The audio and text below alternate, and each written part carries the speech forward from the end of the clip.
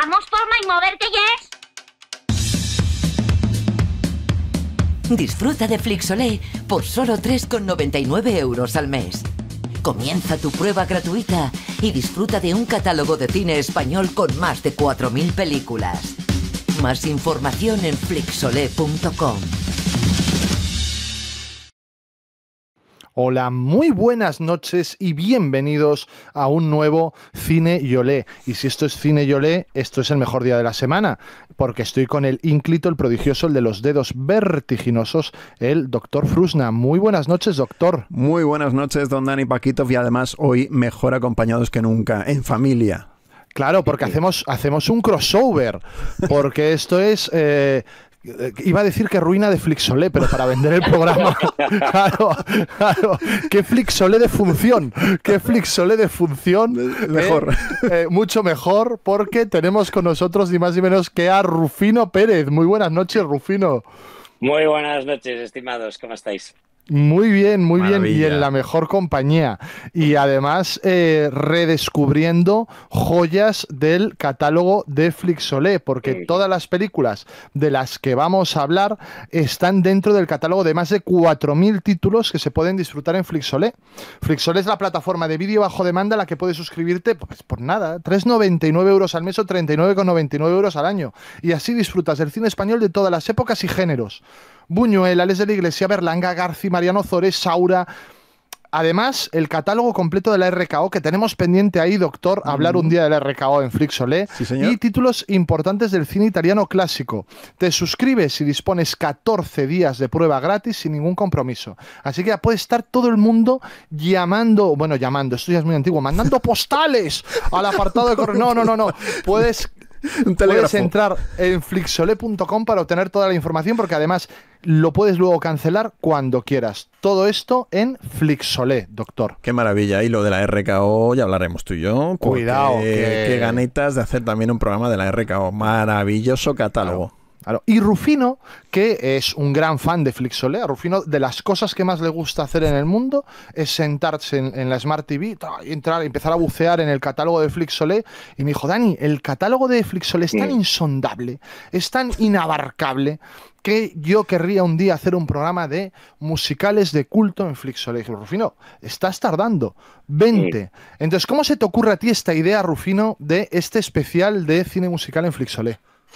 Bueno, porque efectivamente el catálogo es vastísimo y hay algunas películas que yo considero que son muy interesantes.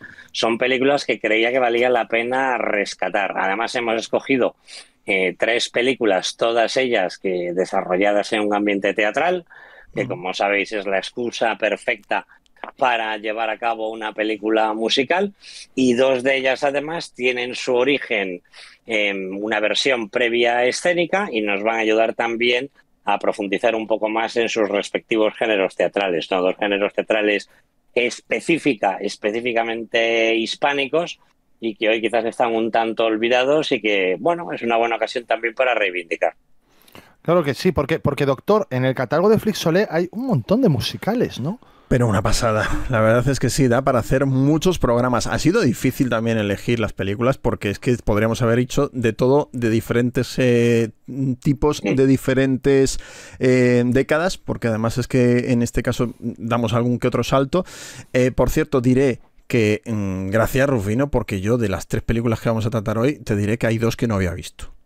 Con lo cual me has descubierto dos pelis que sinceramente me han gustado bastante y hablaremos un poquito de ellas eh, a posteriori. La única que había visto era la corte de Faraón, que justo, por cierto, antes de este directo, estábamos ahora mismo eh, off the record, fuera de micro hablando, y que toda la vida me tiré llamándola la corte del Faraón, y resulta que no es la corte del Faraón, sino la corte de Faraón. O sea, esto es una sorpresa para mí. Qué ganas, qué ganas de complicarlo. Yo también, hasta que me lo has dicho tú, no lo había descubierto. La estuve viendo hoy en Flixolé y, y yo seguía llamándola la corte del faraón. Pero todo, hasta la zarzuela se llamaba así. O sea, no es que Sí, lo cambiaran para la peli. muy. Pero vamos, efectivamente. Bueno, y efectivamente me estaba preguntando Dani, digo, bueno, ¿y ¿qué tipo de musicales encontramos por Flixola? Y tenemos de todo. Es que en el catálogo he estado buceando yo también y resulta que nos hemos encontrado con diferentes tipos de géneros musicales y los vamos a poner por aquí para dar un repaso inicial, no solo antes de entrar de lleno en estas tres películas en concreto, sino que mencionar así un poquito por encima algunos de los títulos importantes que podéis encontraros en el catálogo de Flixolé relacionados con el mundo musical. Bueno, pues géneros musicales. Primero, vienen divididos entre seis, lo tienen en su catálogo puesto así y nosotros vamos a respetarlo, por supuesto. Y el primero de ellos que vi es el de folclóricas. ¿Qué tal? ¿Os- ¿Vosotros os gustan las películas de las folclóricas? He de decir que no especialmente, pero, pero yo más que de folclore soy de copla. A mí la copla sí que me gusta, pero el folclore, bueno, alguna hay, pero no es mi, mi, mi- mi género, desde luego. Yo te diré que alguna de la que hay por aquí, que yo mencionaré, te diré que sí las he visto, porque es, un- es una asignatura muy pendiente para mí, sinceramente, y que algunas de las que hay eh, dentro de este género de folclóricas, os diré que hay películas bastante chulas. ¿eh? Eh, destaco por aquí algunos que otros títulos que he visto por encima dentro del catálogo, porque son un montón. Es eh, posiblemente el, de los géneros que vamos a tratar en los seis ahora mismo, es posiblemente el catálogo más amplio. La Lola se va a los puertos, de la versión de Juanita Reina, de 1947, el superclásico, ¿no? Eh, de la obra de teatro de los hermanos Machado, ¿no? La Reina Mora tienes las dos versiones, la del 36 y la del 54 con Antoñita Moreno y Pepe Marchena. O sea que son auténticos clásicos también. Y aquí llegamos, por ejemplo, María de la O. Sí, señor. Esa Claro. sí que la he visto. Claro, la de Lola Flores y el Pescailla. Sí, señor. Pues aquí tienes las dos versiones, tanto la del 36 como la del 58. Y de, y de Lola Flores también está la Faraona, que es obvio que bueno, es uno de sus mayores clásicos del 55. La Violetera. Sara Montiel sí, ¿no? Sí, sí, sí. sí. Hombre, sí, eso es sí, siempre. Somos muy pro Sara Montiel. La versión con Sí. Raf Balón también, por cierto, en el año 58. Y otra de la que sí somos fans, y yo creo que seguro, es de Conchita Velasco. Además, Conchita, porque me gusta cuando era Conchita. Mm, Sí, señor. A mí también, a mí también. que es La Verbena de la Paloma, la versión del 63 con Vicente Parra, que esta la habéis visto seguro. Sí. Tenemos a Marujita Díaz, que también somos fans. Y sale en una de las películas de las que hablaremos. Ah, no, no, Mm. miento, miento, miento. De las que hablaremos el mes que viene. Pero bueno, esto es que la estuve revisando el otro día. Correcto, Nada, no, no. correcto. Bueno, está bien, ya, ya vamos eh, adelantando y Dando pistas, dando, dando pistas, pistas. dando pistas. En este caso, La Corista de 1960. Eh, Dani, no sé si puedes imitar a Marujita Díaz haciéndolo de los ojos. Es que no lo traigo preparado. Lo digo No porque tú eres muy de hacer imitaciones con los ojos. A mí me flipan las, las actrices con ojos. O sea, quiero decir, con ojos todos, todas tienen ojos, pero, pero actrices que llaman la atención los ojos e incluso quien me conoce bien lo sabe, soy muy fan y fetichista de directores de cine que tienen hermanos con ojos. Pero bueno, esto ya lo trataremos en, en otro, en otro programa. incluso, incluso directores con parche. También. Tam- bueno, y los directores con parche también muy a favor. O sea, Mira. yo el mundo de los ojos lo tengo, pero vamos. Bueno, aquí aparte está, eh, en la corista está Espartaco Santoni, también he de decir, ¿eh? Oh, súper fan de Espartaco Santoni. También somos fans. Súper fan. Sí, el eh. otro día, ¿qué peli vi yo el otro día que salía Jaime de Mora y Aragón? Y dije, mira Jaime de Mora y Aragón. Oh, sí, eh, Ah, no, la vi, sí, pero preparando otro programa. Es que, También, te iba, a decir, olvídate, es que olvídate, también te iba a decir que también vamos a, a hablar de él. Otro programa en stand-by. Vamos Sí, a hablar sí, de él. el último cuplé también. Esa sí, Ah, fantástica, fantástica. fantástica. Esa es muy buena. Con Sara Montiel y Alfredo Mayo del año 57. Y entre otras, Nobleza Baturra. Que también Oh, es esa me encanta. Súper Esa me clásico, encanta. tío. Nobleza Baturra me gusta mucho, de verdad. Por eso, yo sabía y le he dejado la última porque Sí, sabía sí, que sí, te gustaba. Y bueno, pues uno de los. Además, están las dos, ¿eh? Está la del 35. Yo vi, a mí la que me gusta es la del treinta y tantos. La del 35 y luego está la del 65 que tienes con Alfredo Landa que también sale. No, pero a mí me gustaba Nobleza Baturra cuando tocaba en locales pequeños. Sí, no, no, y sí, peliculón, ¿eh? Buenísimo. Es uno de los mayores éxitos del cine ironía, ¿eh? republicano. Sí, es una, es, una, es una pasada. Bueno, esto por un lado. Eh, ¿Qué más? Tenemos, y esto iremos más rápido, muy flamencos. Yo diré que el flamenco no es mi fuerte, también te diré. En cambio, las películas que están por aquí, mm, además teniendo en cuenta que eh, tres de ellas obviamente importantes de Carlos Saura, Sí. están francamente bien, porque además la, y la fotografía es, es- es maravillosa. Está el Carmen del 83, está el Amor Brujo del 86 y tenemos también alguna otra más que creo que estaba por aquí de, de- de- de Saura, que no sé si la tengo a la vista ahora mismo. Bodas de Sangre, correcto. Bodas de sangre, sí. La del 81, de, que bueno, de hecho fue la primera que hizo eh, de, este, de, de- de este género. Eh, también están las películas de Antonio Molina, obviamente, claro, eh, todo un clásico.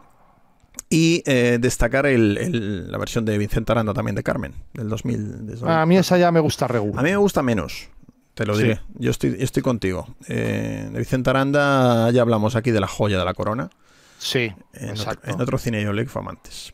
Eh, ¿Qué más? Tenemos Cine Yeye, que me encanta. Me encanta, Mm. eh.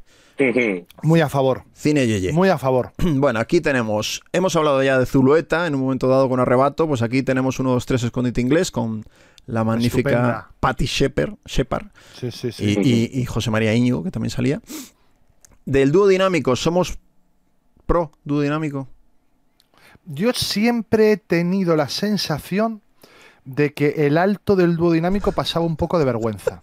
Quiero decir que, que- El alto, que el era, el- pequeñito. el alto era Batman, ¿no? Sí, eh, sí. Eh, el pequeñito se movía así mucho, tal, "Ah, quisiera hacer ahora. Y el alto estaba como diciendo, bueno, a ver si no me ven en casa. Siempre. Qué apuro, qué azoro. Sí, ¿verdad? Como diciendo, Yo bueno, que se mueva el otro. Voy a coger la guitarra para que no se note. Sí. Eh, bien. Eh, una chica para dos del dúo dinámico del año 66. Los chicos con las chicas. Yo muy a favor de los bravos. Sí, sí, sí, sí. Yo Sí. ya os digo, a mí. eh, ¿Vosotros eres más de los bravos o de los brincos? Bravos, bravos. Bueno, yo no había nacido, pero. Yo soy de los bravos también. Claro. Yo, Pero bueno. yo siempre a favor de Mike Kennedy. A mí Rufino siempre me contaba, si tú hubieras ido a todos los conciertos de los Bravos que fui Mm. yo y tal y cual, pero bueno, a mí me pilló... Bueno, pero todavía no el Black is Black. sí, ¿no? Black is Black siempre a favor. Bueno, vale, Sí, bien. señor. Bueno, pues esa y dame un poco de amor. Oh, esa me flipa. Que Esa es de las pelis más yeyes de la historia, me encanta. Que también la tenemos por aquí de José María Forqué. Me encanta, además es que es flipante esa peli. Esa peli es muy loca. Yo quería haber hablado de ella en el especial que hicimos de Forqué porque es muy loca, muy Es que loca es esa peli. de que él Sí, está sí. obsesionado con los TVO, ¿no? Y, y se cree ver a Sí, sí, Fu sí, Manchu. sí. Me flipa esa peli. Está, está genial. Tenemos a 45 revoluciones por minuto, que aquí está Muy Juan bien. Pardo. Que Juan Pardo, Mm. eh, los gallegos, pues tenemos mucho que decir. Sí, sí, sí. ¿Vale? A mí me daba un poco, me azoraba un poquito también Junior, que era ya un señor mayor y le seguían llamando Junior. Me- Pero bueno, esto ya bueno, hoy, hablaremos hoy ello. vamos a hablar de Rocío Durcal, así Sí, que por ahí anda. Los chicos del Preu, que también es otro clásico. Sí, Tengo 17 años con Rocío Durcal, que esta me hace mucha gracia porque es de Forqué también, y es una como una adaptación libre de Blancanieves, lo cual me hacía yo esta no la he visto, fíjate. me parece muy curiosa. Y eh, en un mundo nuevo del año 71 con eh, Karina. Yo muy, muy a favor de Karina. Sí, sí, Yo- yo también. Es muy buena persona, Karina. Yo cuando la veo Mm. me, Mm. me- me transmite bonomía. Bonomía. Que es Bueno, una mezcla bon- de, brujería del- o- del- de- de bruj- brujería. Es una mezcla del cantante de U2 con Locomía. Sí, sí, señor. es sí, una señor. cosa así. Bonomía. Mía. Eso me suena muy récord. Pero bien. Mm. Eh, venga, más. Niños prodigio. Bueno, aquí también muy a favor de, Oh, de- súper a favor. Hablamos de Joselito ya aquí, ¿eh? Eh, efectivamente, ya estamos hablando de El Ruiseñor de las Cumbres, que Sí, también la tuvimos en, en- en este canal. Eh, os diré un rayo de luz y Oh, muy buena. Marisol, Marisol. ahí estaba estupenda. Es la primera de es Marisol. el debut de Marisol en el año Sí, sí, sí, 60. sí. Que Tenemos, tenía un abuelo que era muy insensible y Marisol lo pasaba muy mal, pobrecita. Pero siempre lo pasaba mal en todas las películas. Sí, bueno, bueno. también te lo digo, ¿eh? porque en Tómbola también, otro super clásico del año 62, Sí, y la favorita de Dani y mía, que es Marisol rumbo a Río. Oh, me encanta. Es Porque. Rufino, yo no sé si tú lo sabes, pero yo aquí he hablado que me gustan mucho las películas con cantantes femeninas cuyo nombre aparece en el título. Por ejemplo, Marisol rumbo a Río o Doris Day en el oeste. Son Sí. películas que me encantan. Eh, ya para mí es uno de mis géneros de cabecera. Mm. Tiene una lógica aplastante. Maravilla. Eh, Diré, la primera, can- la primera película de Rocío Durcal también la tenemos por aquí, el año 62, Canción de Juventud. eh, Mm. Todo un clásico. Y menciono por último una que a mí me marcó mucho de pequeño, que era Zampo y yo. Que Sí. fue el debut de Ana Belén. de Ana Belén, que también hablaremos hoy de ella, junto a Fernando Rey en el año 65. Eh, lacrimógena película, por cierto. Sí, sí. Sí, señor. Muy lacrimógena. Bien, pues nos quedan dos géneros. Uno de ellos es la banda sonora de EGB, que esto Ah, nos toca muy de lleno. Yo de esta colección, doctor, no sé si les... ¡Ay! De esta colección yo estoy viendo ahí y de esa quiero, pero un monográfico. Es que, te- es, y que, olé. es que también la ha dejado la última. Y, Vale, y- vale, y- vale. y te voy a dejar que, que- que- que te emociones. Vale, una de mis pelis favoritas de Bueno, ever. De, de- de hecho, tenemos un montón de parchís, La Guerra de los Niños, La Magia de Parchís, Parchís contra, Parchís. Parchís contra el Hombre Invisible, que yo no la he visto, por cierto, y me he visto, y tampoco. yo pensé que había visto todas de Parchís, pero esta no, No, la había visto. pues- Y Parchís entre Nación, de hecho, yo vi varias en cine de ellos. Eh, Loca por el circo de Teresa Raval. Ah, Bueno, Teresa Raval, siempre bien. Los pajaritos de María Fantástico. Jesús y su acordeón, siempre bien. Pero, pero, pero. Y dejo las dos mejores, dejo las dos mejores para el final. Padre no hay más que dos.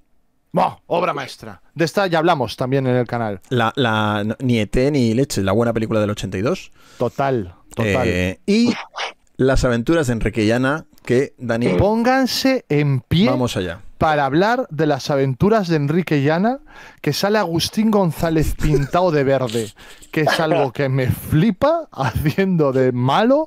Sale Luis Escobar, que está maravilloso. Buenísimo. Y, Bueno, claro, es que en este, sub- en este subgénero, en concreto, las mejores películas son aquellas en las que, además del grupo infantil correspondiente, sale Luis Escobar. sí, siempre, siempre, esa, siempre.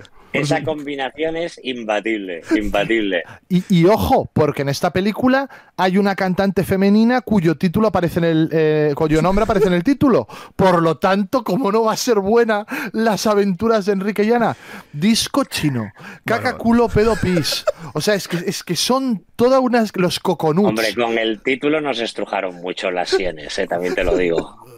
Pues me parece es un título que no engaña, Pero Rufino. vamos, Es Es un título que no engaña. Mira, hay aventuras y están Enrique y Ana. claro. Mm. O sea, no Es engañan. que- también es cierto. Ahora, verdad, en- obra engañan, más, engañan más los títulos de las canciones, porque Caculo Pedo Pis. Ya, y de ahí nos pasan. No, no, Sí. no veo yo que. No recuerdo. Muy, muy explícita no es, afortunadamente. Coco Pero- Guagua, que era pequeñita y su mamá se fue. Esto es una cosa terrible que a mí me marcó mucho de pequeño. Y a mí me fascinaba de amigo Félix, Bueno, que decía: "Haz- hazme, hazme un favor, quiero ir contigo. quiero morir. O sea, quiero, quiero, Mm. quiero morir, me decían. Eran maravillosos. Enrique Llana siempre a favor. Y eso que Enrique ¿Qué del Pozo luego. de Ana? Pues claro, de Enrique del Pozo hemos seguido sabiendo bastante de sus aventuras. Pero, Desventuras. pero, pero de Ana, ¿bien sabe algo? No, no sé nada. Habría que hablar con Ana para que viniera a hablar de esta película, Mm. si es que ella quiere y no le trae recuerdos de Vietnam en Mm. otro, en otro orden de Mm. cosas. Pero yo quiero, doctor, buscarnos una excusa para un día hablar de las aventuras Pero- de Enrique Llana. Pero vamos, eh, no hay excusa posible. O sea, directamente un monográfico absoluto de esa película y ya está. Sí, O sí. sea, y mira, y mira, dice Harry. GB. Dice Harry Wu, la mejor es Chispita y sus gorilas. Yo no he visto Chispita y sus gorilas, pero pregunto, ¿Chispita es el nombre de la cantante? Porque entonces hay Chispita y monos. Por lo tanto, quiero decir, es que Oh, obra maestra. Oye, pues, Claro. pues ahí lo tenemos. O sea, yo, yo, mira, te digo una cosa. El tema a tratar en ese cine yo leí películas en las que sale el nombre de un cantante en el título Pues me encanta. y ya tenemos un par de Pues ya tenemos tres, ya tenemos Sí, sí, Por tres. eso digo, ya está. Igual que hoy que tenemos tres películas, pues ya está. Joder, es que- o sea- que- guau. Dice Trayolo, las aventuras de Enrique y Ana, las aventuras de Enrique dan para trilogía. Sí, las aventuras de Enrique sí que Sí, dan bueno, para trilogía. También es verdad. Y bueno, por último. Pero eh, más de Fassbinder, yo creo. Totalmente.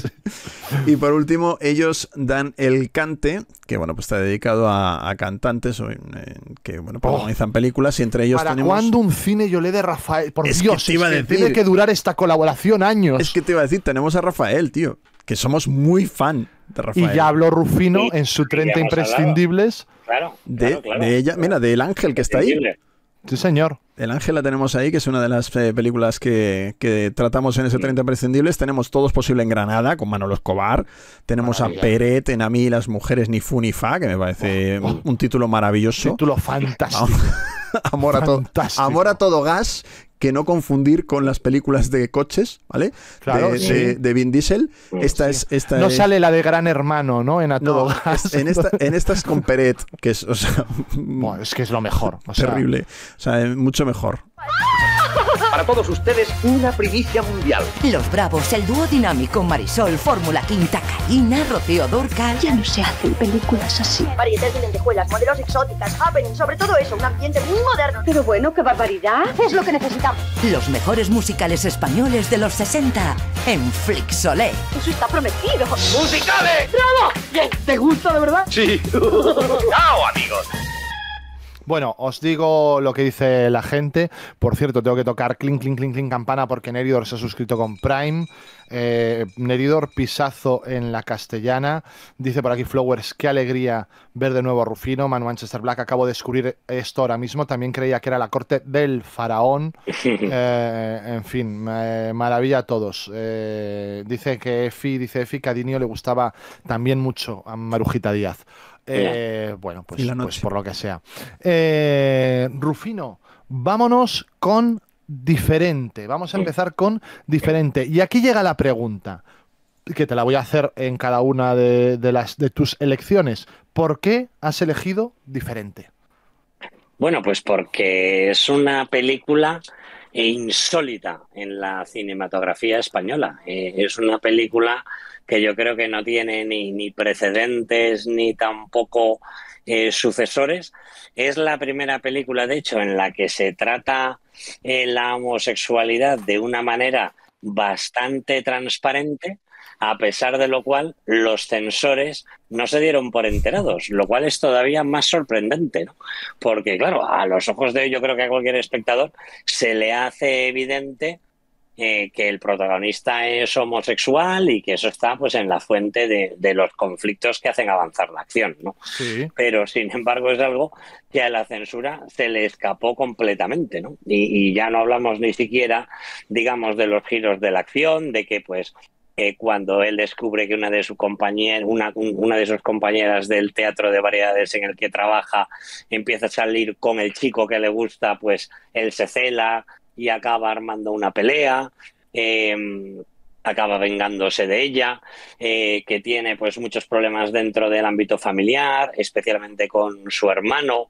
Eh, es que sencillamente el vestuario, ¿no? Son las coreografías, son los números musicales eh, que monta, ¿no? Yo creo que es muy evidente. Luego también yo creo que comentaremos algunos planos o algunas escenas de la propia película que también son de, en fin, eh, de un homoerotismo tremendamente obvio y sin embargo todo esto pasó absolutamente desapercibido a la censura, que no tocó ni un solo plano de la película, que no tocó ni una sola palabra eh, del guion.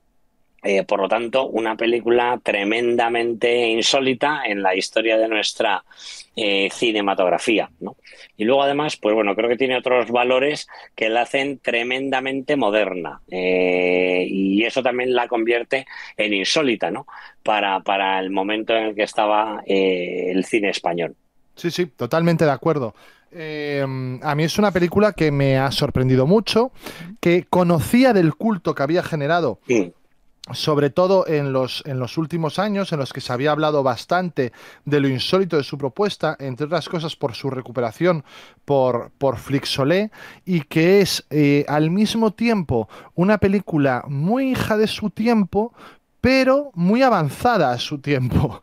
Entonces es eh, quizá muy hija de su tiempo en lo formal, pero muy avanzada a su tiempo en lo temático. Y esto genera una dualidad por lo menos eh, que a mí me parece muy, muy interesante.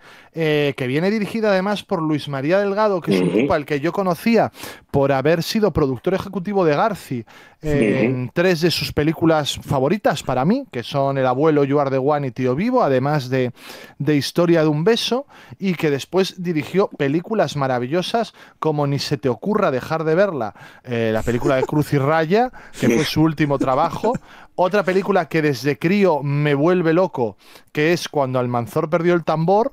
Eh, Señor. también director de Chispita y sus gorilas. ¡Bravo! Maravilla, ¡Bravo! Ese es el mejor director de la historia. El mejor. De una película que me encanta. Perdón, es que me emociono. Que es La tía, la tía de Carlos. Hombre, Hombre, maravillosa. hombre, Que es, pero fantástica. ya hablaremos de Paco Martínez Soria. Teníamos que hablar de Paco Martínez Soria en esta noche. No podía desde luego, desde luego. Y luego de películas, eh, que también hay otro género que me encanta, que son las películas eróticas con títulos simpáticos. Por Mm. ejemplo, Profesor Eroticus. eh, Pepito Piscina, que Maravilla. es un clásico. Hombre, un Maravilla. clásico. eh, Fernando Esteso. Cuando el Mm, cuerno pues eso. suena, cuando Conchita escapa, no hay tocata, que este es un título que me vuelve loco. Y eh, de una película que, para acabar este speech inicial, nos toca muy de cerca, de un modo u otro, a los tres, que es Aventura en las Islas Cíes. Hombre. Sí, señor. Maravilloso. Oye, pues no, no, no, no la había visto yo esa película. Tengo Sí, que verla. pues- Sí, tengo que, tengo que pues verla. dejadme, dejadme añadir que La tía de Carlos, esto es, es- es una película basada en un vodevil clásico, súper conocido británico, del que también hay versión musical. Hay, hay eh, musical que se llama así, La tía de Carlos, se lo compuso en su día Frank Lesser, el, el mismo compositor de Guys and Dolls, por ejemplo, Oh, y es muy bueno. divertido. Mm. Qué bueno.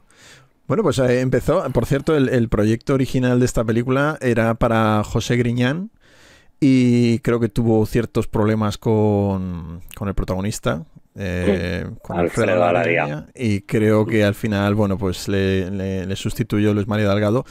Pero bueno, eh, a ver, yo decir de esta película que, que sí había, me, me me pasaba un poco como a Dani, sí había oído de, de su culto, eh, sabía que existía, pero reconozco que no, no la había visto. Y es una película que, entre otras cosas, porque creo que es una película bastante, eh, ya no solo digo desconocida por el gran público, sino que es- hasta que yo llego aquí a Flixolé, es una película que yo jamás he visto por televisión prácticamente, no la he visto mm, distribuida por ningún lado. Es prácticamente imposible, si no es por esta plataforma, encontrarte con esta película. En cine de barrio, por lo que sea, la pusieron poco. creo, que, creo que nos animaron mucho con ella, ¿no? Sí, eran más de Pepito Piscinas. Sí. y, y he de Y estoy decir- seguro que a José Manuel Parada era una película que podía interesarle, pero bueno. Pues no, yo creo que en general a cualquiera, porque hay que reconocer Sí, sí. que eh, es una película que a mí me ha sorprendido bastante, sobre todo por lo, lo valiente que es en un momento dado la película. Eh, porque efectivamente, como, como bien decía pues, Rufino, pues es, es la primera película en la que se toca, al menos la película eh, de la cinematografía española, en que se toca claramente la homosexualidad, y que sorprende mucho, porque efectivamente es muy clara la, la forma, o al menos en- a, ojos de 2024 es muy clara la forma en que está tratada. Sí. Eh, ya hablaremos después, efectivamente, como decía Rufino, de alguna secuencia que yo creo que es más que obvia, sobre todo hay una que es eh, casi, bueno, no sé, de manual. Y, y que, y que pasa la censura, efectivamente. Eh, película que hoy en día se puede denominar de culto, pero que, que- que en aquella época pasó un poco sin pena ni gloria para el público. La crítica, en cambio, sí la puso bastante bien. Mm. Y, y decir que, que- que para mí, además, crea otras eh, novedades importantes en, el cine, no, no solo pues, el, tratar este, esta temática, sino que también estamos hablando de una época, eh, el año 61, en que, eh, como bien decíamos antes, pues eh, está más bien el, el argumentos de, de folclore y de o de niños prodigio, de cosas así. Se mete un cambio, un giro radical en esta película que efectivamente, como decía también Rufino, no se vuelve a tratar. O sea, re- parece que ponía, iba a revolucionar un poco todo, pero al final no. Y, y sobre todo porque la... O al menos es una, una apreciación que yo tengo. Yo creo que en estas películas de, de esta época se daba más prioridad a lo que eran las canciones. Y a mí me da la sensación, viendo esta película, de que hay una, eh, un especial cuidado y cariño a las coreografías y a lo que es eh, la puesta en escena. Eh, no solamente las canciones, ¿no? Porque eh, es, eh, tiene momentos de, mm, pero de, de- de números musicales extensos y en los que están muy elaborados, ¿no? Sí, yo de hecho, fíjate, eh, yo, yo creo que es un muy buen punto, porque yo creo que esta película y sus números musicales entroncan más con el cine de Minelli. Yo veo también rasgos de Bob Fosse, rasgos de Jerome Robbins y West Side Story. Eh, el bailarín eh, Alfredo Alaria tiene la energía de Jim Kelly. Es decir, yo creo que entronca más con ese cine de los 50, principios de los 60 estadounidense, que con la tradición específica del cine musical español. Total, en ese sentido total. me parece muy moderno. Hay un número eh, como de marionetas que es, quiero decir, es imposible no pensar en Chicago, eh, por ejemplo. Y incluso eh, lo de West Side Story a mí me parece muy evidente, sobre todo en el tramo inicial de la película. Me parece muy, muy, muy evidente. Pero que es del mismo año que West Side Story. Sí, sí, sí, sí. Es del luego. 61, o sea luego. que, ojo. Sí, se estrenó al año siguiente, si no recuerdo mal, ¿no? Sí, sí, En pero está, ro- 62. Sí. pero, pero está Pero rodada en el rodada. 61, o sea, Sí, eso- sí, sí. No, pero te demuestra que Alaria estaba muy, muy pendiente, ¿no? De, de lo que se hacía en particular en, en Estados Unidos. ¿no? Yo, en Al concreto, de final- West Side Story, os diré, a mí hay dos cosas que sí, que el arranque inicial, ese, ese Sí. chasquido de Sí. dedos, Sí. eh, Mm, ese, mm. ese traveling Puro que hay, West es el arranque de West Side Story. Y luego quizás en, en, el, en la pelea que tiene en el, Sí. en el sótano con Sí. el compañero de teatro, que ese Es planteamiento... Es una, un poco el, el- el rollo de los Jets, ¿no? Y de, de- de los Jets. O sea, sí, yo, yo ahí lo vi bastante claro.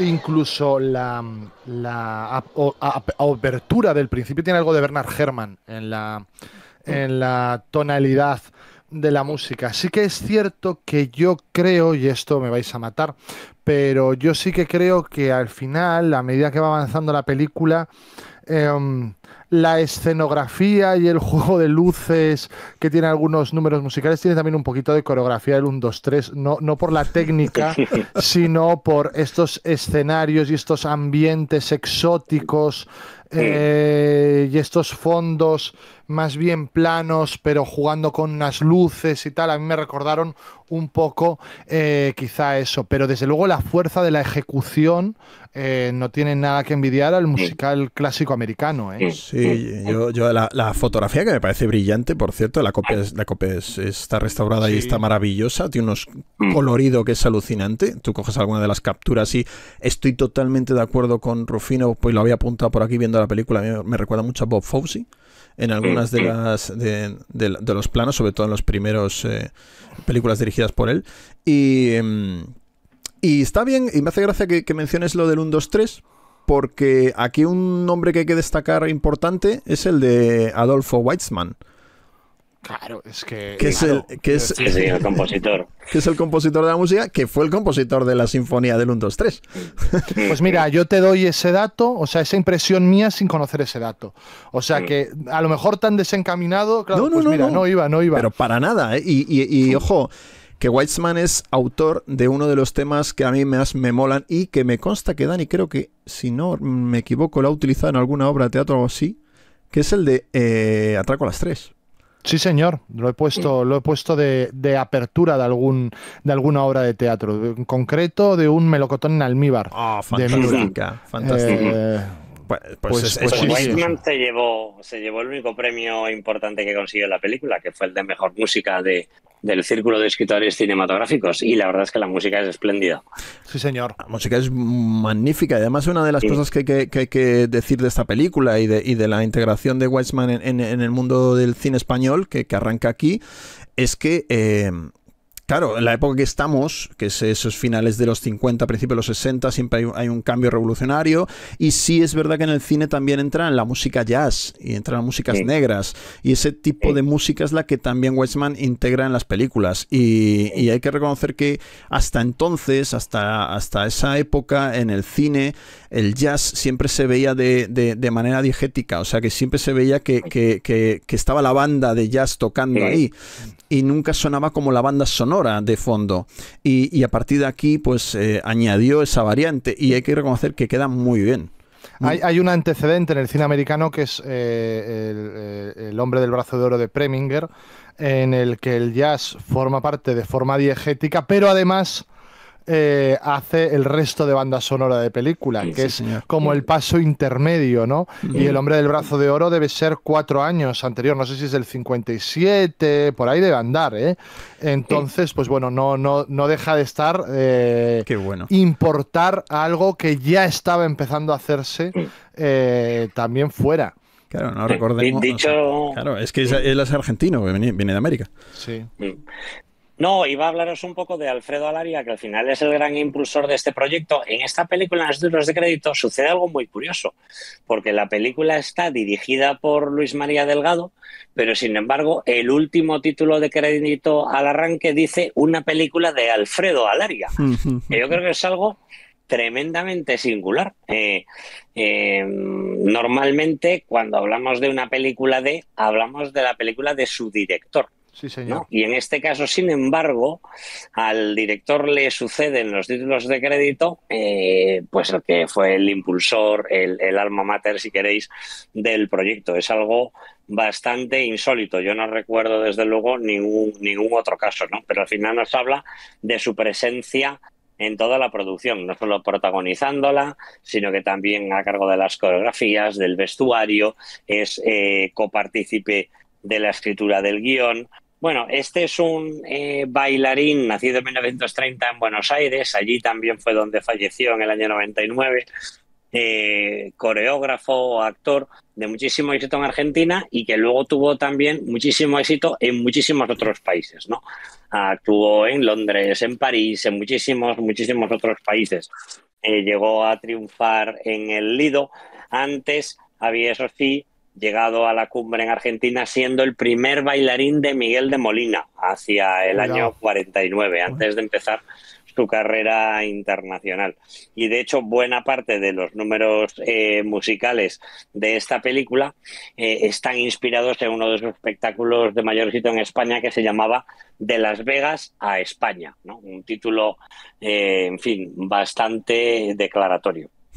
Eh, Alfredo Alaria, que para mí eh, podríamos decir que en esta película es un poquito, y a ver si me lo compráis, una mezcla de James Dean, tiene bastante del James Dean de Rebelde sin causa, tiene mucho de Tony Curtis también, eh, me recuerda mucho a Tony Curtis en algunos momentos, incluso en alguna ejecución, como el número musical de Perú, las caras que pone también son un poquito Millán Salcedo.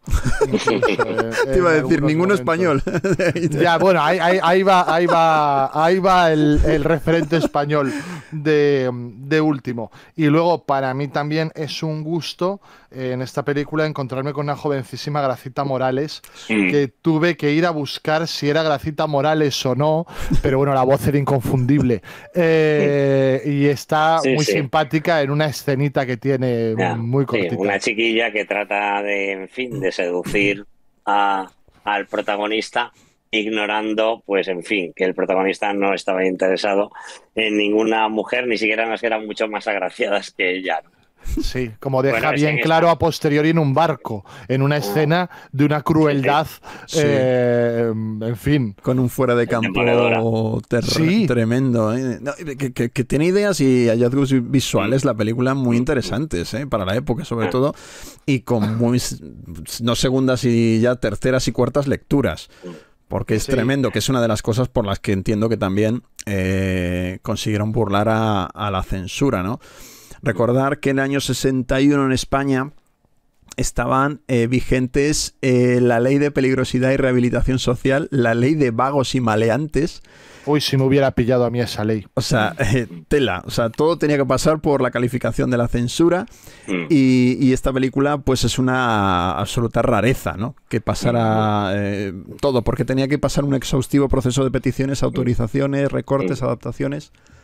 Dicho, dicho lo cual, ¿no os da la sensación de que esta película pasa todos esos eh, filtros porque al censor de turno le pareció que la historia al final castigaba a su protagonista obviando un detalle climatológico final que creo que le, que le, le perdona de un modo, de un modo casi bíblico, yo me dio la sensación de que, eh, vale, permitían que el protagonista fuera homosexual porque el final para el protagonista no es especialmente feliz. Bueno, eh, para nada, es pobre. Ya, hombre, lo- lo- yo fíjate, yo en esto eh, soy más, más básico, ¿eh? Yo creo que sencillamente la censura no se dio cuenta.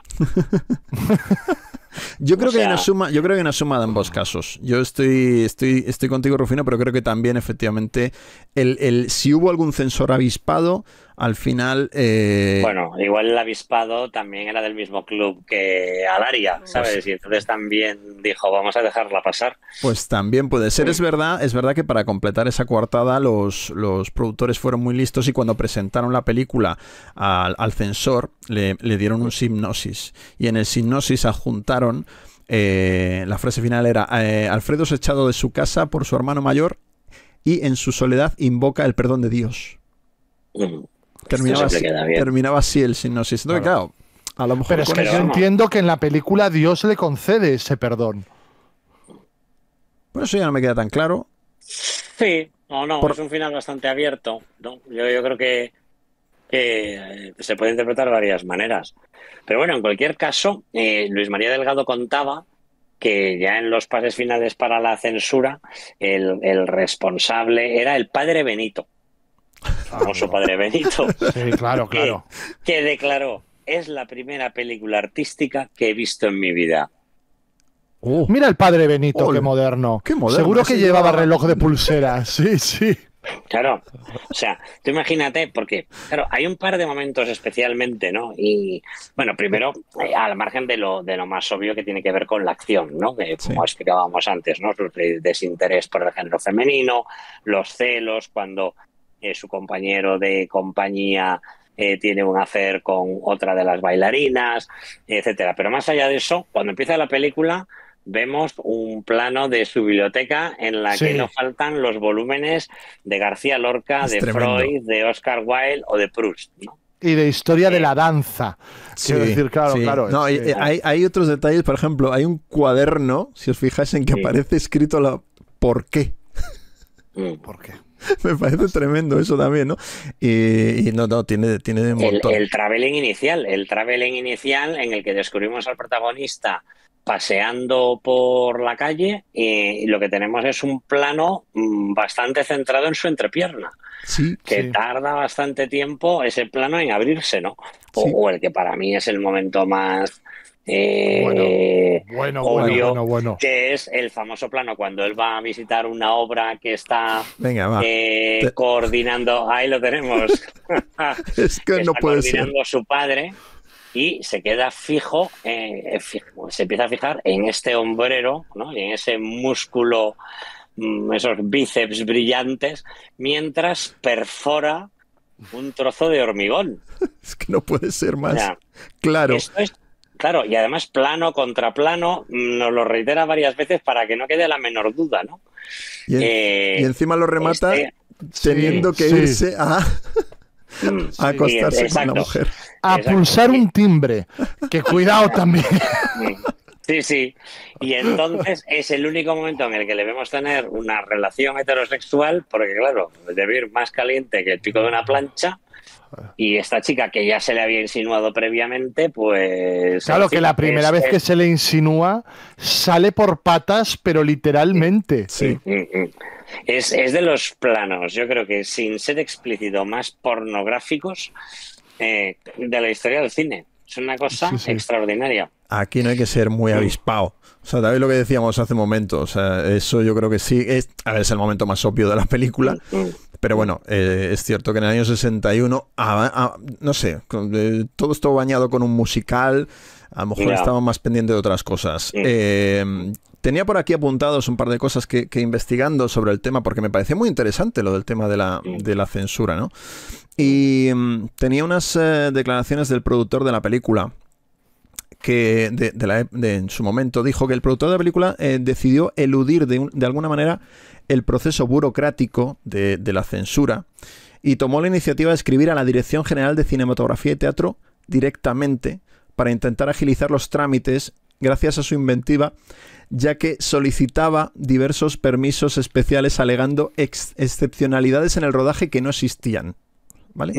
Y lo que hicieron es, gracias a eso, consiguieron grabar la película sin tener el permiso obligatorio de la censura. O sea, realmente, la- por, por lo que se ve, la rodaron sin el permiso inicialmente. Eh, por otro lado, y tal y como muestran los archivos de la época, expedientes de rodaje y expedientes de la censura cinematográfica, fue la productora quien apremió al órgano censor para que les concedieran la autorización al final, cuando ya estaba hecha la película, de manera urgente, alegando que tenía una fecha de estreno ya pactada y que se estaba, estaba ya muy cercana en el tiempo.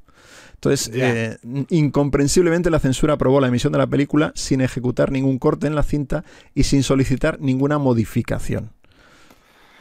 De todas formas, también os digo una cosa, y aquí a lo mejor eh, patino también, pero os diré que si tú mandas una sinopsis de esta película a la censura, eh, puedes perfectamente obviar todo este subtexto. Claro. Quiero decir, esto no es Brokeback. Mountain, ¿vale? O sea, Ujú. puede ser Sí. perfectamente la historia de un hijo díscolo que Mm. quiere dedicarse al mundo artístico, que no le interesan las mujeres ni nada que no sea ni el trabajo ni tal. Mm. Y casi puede la tener más. es de manual. La historia Casi puede de tener más problemas por izquierdista la película. Sí. En el momento en el que él No, se preocupa verdad. por sus trabajadores y Mm. por no sé qué y tal y cual, que por un contexto homosexual Mm. puesta la película negro sobre blanco, por así decirlo, antes Mm. de verla. Mm. Mm. No, no, la historia al final es una historia que hemos visto cientos de veces, ¿no? Del hijo díscolo de buena familia que busca un camino artístico y eso es fuente de conflictos. Bueno, y además en este caso, claro, los que, los que le ocasiona eh, su tendencia a sus preferencias sexuales, ¿no? Eh, curiosamente, eso sí, hay algo que es distintivo y no tan habitual, que es que con quien tiene el protagonista una relación muy, muy estrecha es con su padre y no Sí. con su madre, Sí. que sería lo tópico. Sí. Eh, y sin embargo, en este caso, la relación con su madre es bastante distante y es con su padre con el que tiene una relación realmente estrecha, ¿no? Eso es bastante singular. Sí, pero si os fijáis al final de ese traveling inicial de la película, de los títulos de crédito, que te va haciendo un resumen ya de todas las características propias del personaje, si no recuerdo mal, termina el plano en el que se ve un retrato de la madre, Mm. lo Mm. cual también dice mucho, ¿no? O sea que Sí. es, es un- es un poco eh, determinante. Sí, probablemente porque la madre, igual que su hermano, eh, en fin, lo supieran todo Mm, y el padre viviera más en la inopia, que Sí. pues puede ser lo habitual. También. También había un retrato en la pared con él eh, de una cara con manchada de sangre, ¿no? O sea, al final viene un poco a ser muy premonitorio Sí. toda esa primera... Y me parece un- Sí. muy, muy brillante ese arranque de la, de la, de la película. Pero eh, sí también estoy bastante con, con Daniel en el tema de, de- de que efectivamente hablando y ya cerrando el capítulo de la censura, que es muy probable que, que vieran, eh, por un lado, eh, a lo mejor simplemente a un muchacho malcriado más que otra cosa, Mm. Sí. o que eh, efectivamente si hubiera un relato que al final es un relato moralista. Entonces, es claro, eh, plantea la película en definitiva que es un poco donde se tuerce un poco y donde eh, la película quizás es menos moderna a día de hoy de lo Mm. normal, que es el mensaje final de la película al final viene a ser y se puede interpretar eh, por un censor inclusive como que la homosexualidad es únicamente puede acarrear problemas y sufrimiento del, del protagonista y que Y tiene que familia. claro, y que tienen que implorar a Dios para el perdón eh, que ha provocado y todo esto, y que tiene que cargar con la culpa y todo esto. Me parece que ahí obviamente se, le va o sea, la, la peli, que, que es un final casi como con ese plano, que, que esos cortes eh, finales que me recuerda casi al Tommy eh, de Ken Russell al final, que creo que, que hay muchas eh, películas que, que, que veo reflejadas aquí, que- y esta es anterior a todas ellas. Me, me parece que, bueno, que quizás es, es excesivo, pero lo entiendo para la época. Sí, es verdad que es un final moralista, pero yo creo que inevitable, ¿no? Claro. Sí, sí, al menos si querían estrenar la película. Mm. Bueno, por cierto, que ese niño del que hablabais antes, el sobrino del protagonista, es nada más y nada menos que Enrique San Francisco. Sí, señor. Oh, qué maravilla. No, pues no lo había detectado yo, ¿eh? Mm. No lo había Pues- detectado. Y mira que me gustan los actores con ojos. Te lo iba a decir ahora. Ya. Pero mira, Enriquito, mírale. Mm. Mírale. Eh, bien, sí, sí, sí, sí. Es una película también muy, muy freudiana, ¿no? Muy Mucho. del Hollywood de la época también, Sí. que, que era, pues eso, tanto los dramaturgos de la época como el. Hollywood de la época, como gran parte de la cultura y de la literatura que se consumía en la época, tenía una influencia freudiana muy importante y aquí está, pues también claramente remarcada, eh, quizá un poco simplificada, si me apuréis, pero...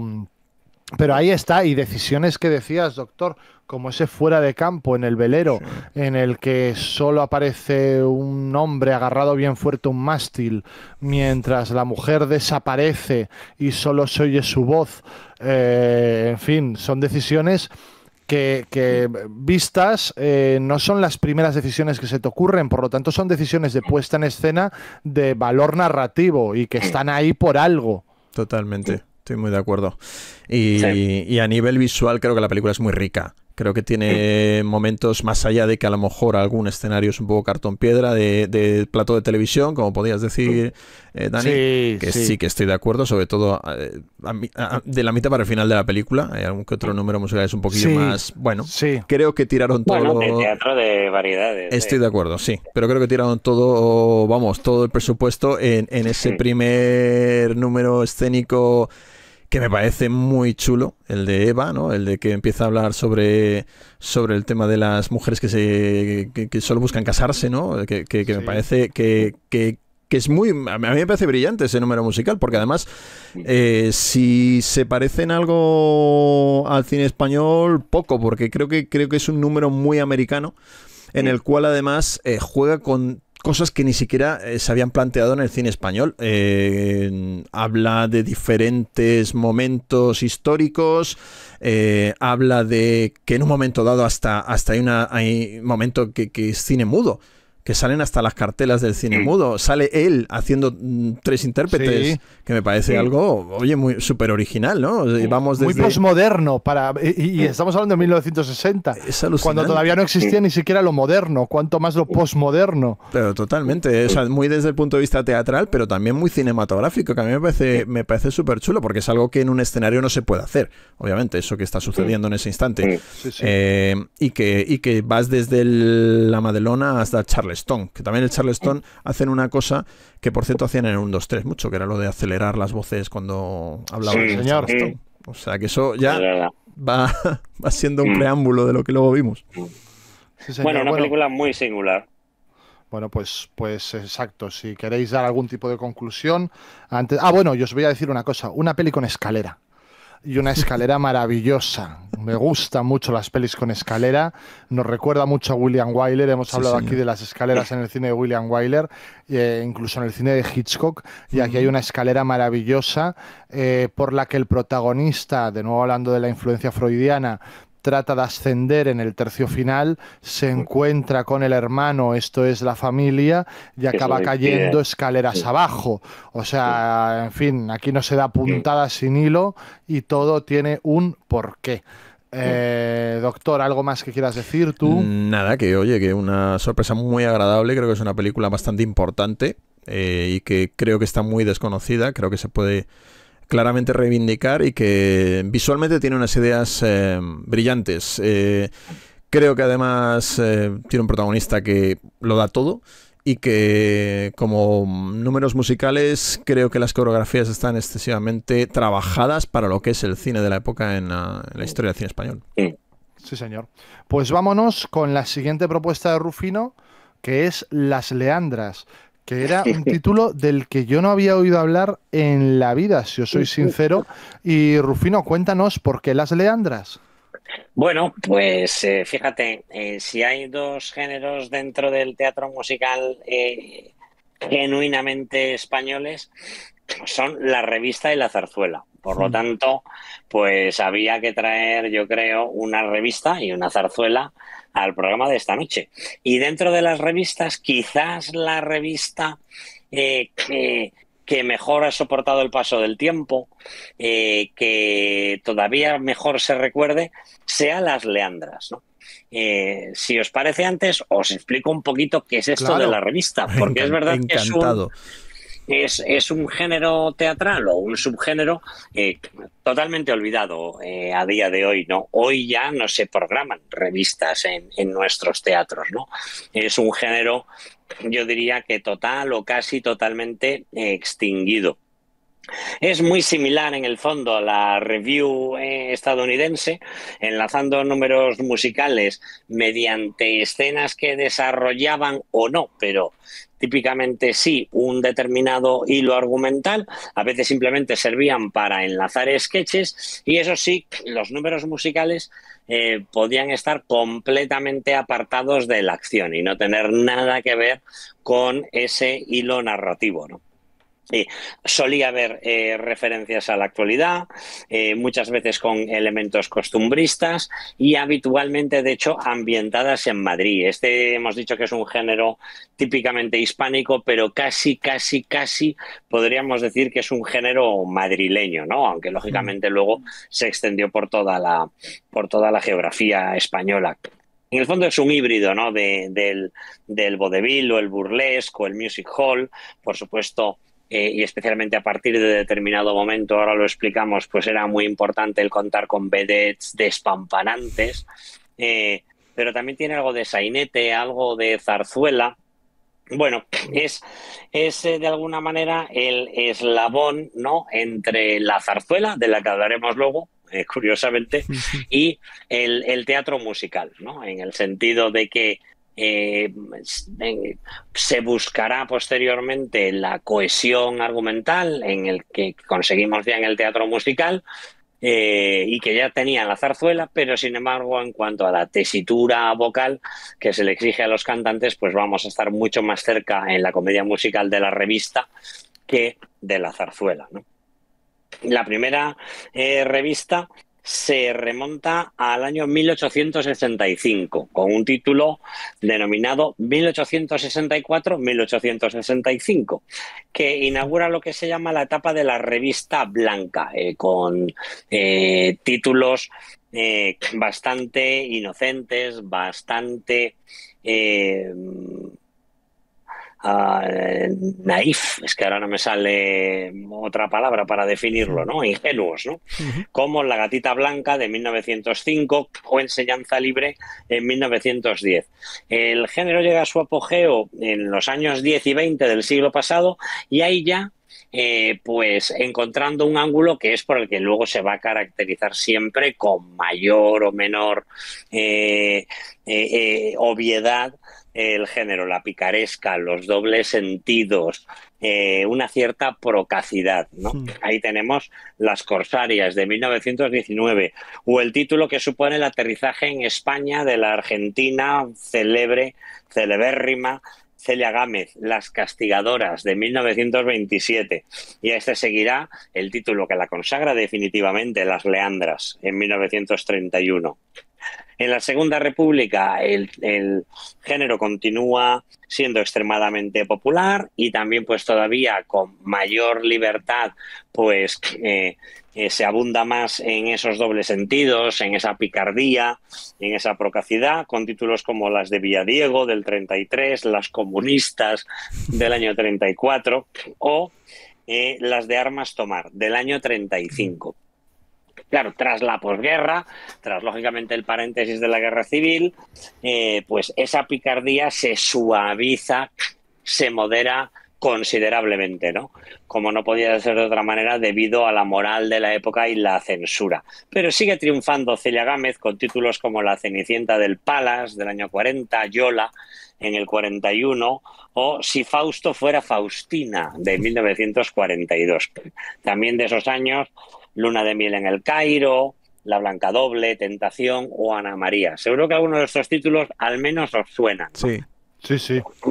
Vedettes de la época, eh, cuya misión principal, lógicamente, era no desafinar y enseñar todo el bus lo posible. Marujita Díaz, de la que habéis hablado, Queta Claver, Lina Canalejas, Mari Begoña, junto, eso sí, acompañadas, y esto es muy importante, de grandes cómicos, grandes cómicos de la escena, muchos de los cuales además dieron el salto al cine. Y todos conocéis a Zori Santos y Codeso, Tony sí, Leblanc, señor. Ángel de Andrés, Juanito Navarro, Quique Camoiras, Manolo Gómez Bur, Pedro Peña. Bueno, pues todos estos eran los cómicos que acompañaban a estas vedettes y super vedettes en el género de la revista. La decadencia llega cuando ya se relaja la censura, eh, eh, surge el destape y por lo tanto pues ya deja de tener tanto sentido pues ese juego de mm, enseñar, insinuar muchas veces mm, al límite, transgrediendo lo que la censura permitía. Era habitual que en los pases para la censura se enseñara menos de lo que luego sucedía realmente en los pases diarios para el público, pero siempre, eso sí, con el personal del teatro muy atento a las visitas sorpresas de los censores que ocurrían para poder avisar al elenco. Y también hay que decirlo, y esto no dejaba de ser pues un círculo vicioso, a la reducción del presupuesto, ¿no? Que hacía pues que cada vez estos estos espectáculos contaran con menos medios y por tanto cada vez fueran menos interesantes, ¿no? Eh, hasta el punto de que ya llega un momento en que todos estos espectáculos se hacen con música pregrabada, ¿no? Que yo creo que es como... Eh, el colmo de la pereza, ya. El, bueno, el colmo de la pereza o de la austeridad o de la falta de presupuesto y desde luego es la muerte de cualquier eh, variante, cualquier subgénero del teatro musical, ¿no? Eh, la última gran vedette eh, que ha existido, María José Cantudo, ¿no? Eh, también en los desertores del género se produce un fenómeno singular y es que tenemos una protagonista que no destaca por su belleza, por sus piernas, por su atractivo, sino por su comicidad. Y es Lina Morgan. Morgan. Sí, señor. porque en el fondo títulos como Vaya par de gemelas no dejan Oh. de ser una revista. Maravilla. Es decir, una narración más o menos cómica, salpimentada con números musicales que nada tenían que ver con la acción. Bueno, pues eso es lo que hace Lina Morgan en títulos como, como Vaya par de gemelas. Pelis de gemelos también es un tema que siempre me ha encantado. Grande. Eh, el canto del cisne del género, pues Concha Velasco trata de hacer un homenaje al género eh, utilizando grandes éxitos, grandes números musicales de, de, la historia de la revista con el título Mamá, quiero, quiero ser artista, del año 86, ¿no? que es el último gran título de un género que ya pues, pues ha desaparecido. ¿no? Eh, yo creo que superado, lógicamente, eh, por versiones más sofisticadas de, del teatro musical. ¿no? o más vulgares, en el caso de The Hole o, o temas así. Quiero decir, al final eh, o tiramos hacia un lado o tiramos hacia otro, sí, pero... Sí, pero The Hole estaría más en, en el territorio del, del burlesque. Del cabaret, sí. sí de... Del cabaret. Ahí ya no hay ni siquiera ninguna ambición narrativa, ¿no? Mientras que en la revista sí que solía haber eh, una historia, una historia realmente sencilla, una historia sin ninguna complejidad, sin ninguna complicación. De enredo, eh, ¿no? Era siempre una trama de enredo. enredo básicamente, como es Las Leandras, de la que mm. enseguida hablaremos.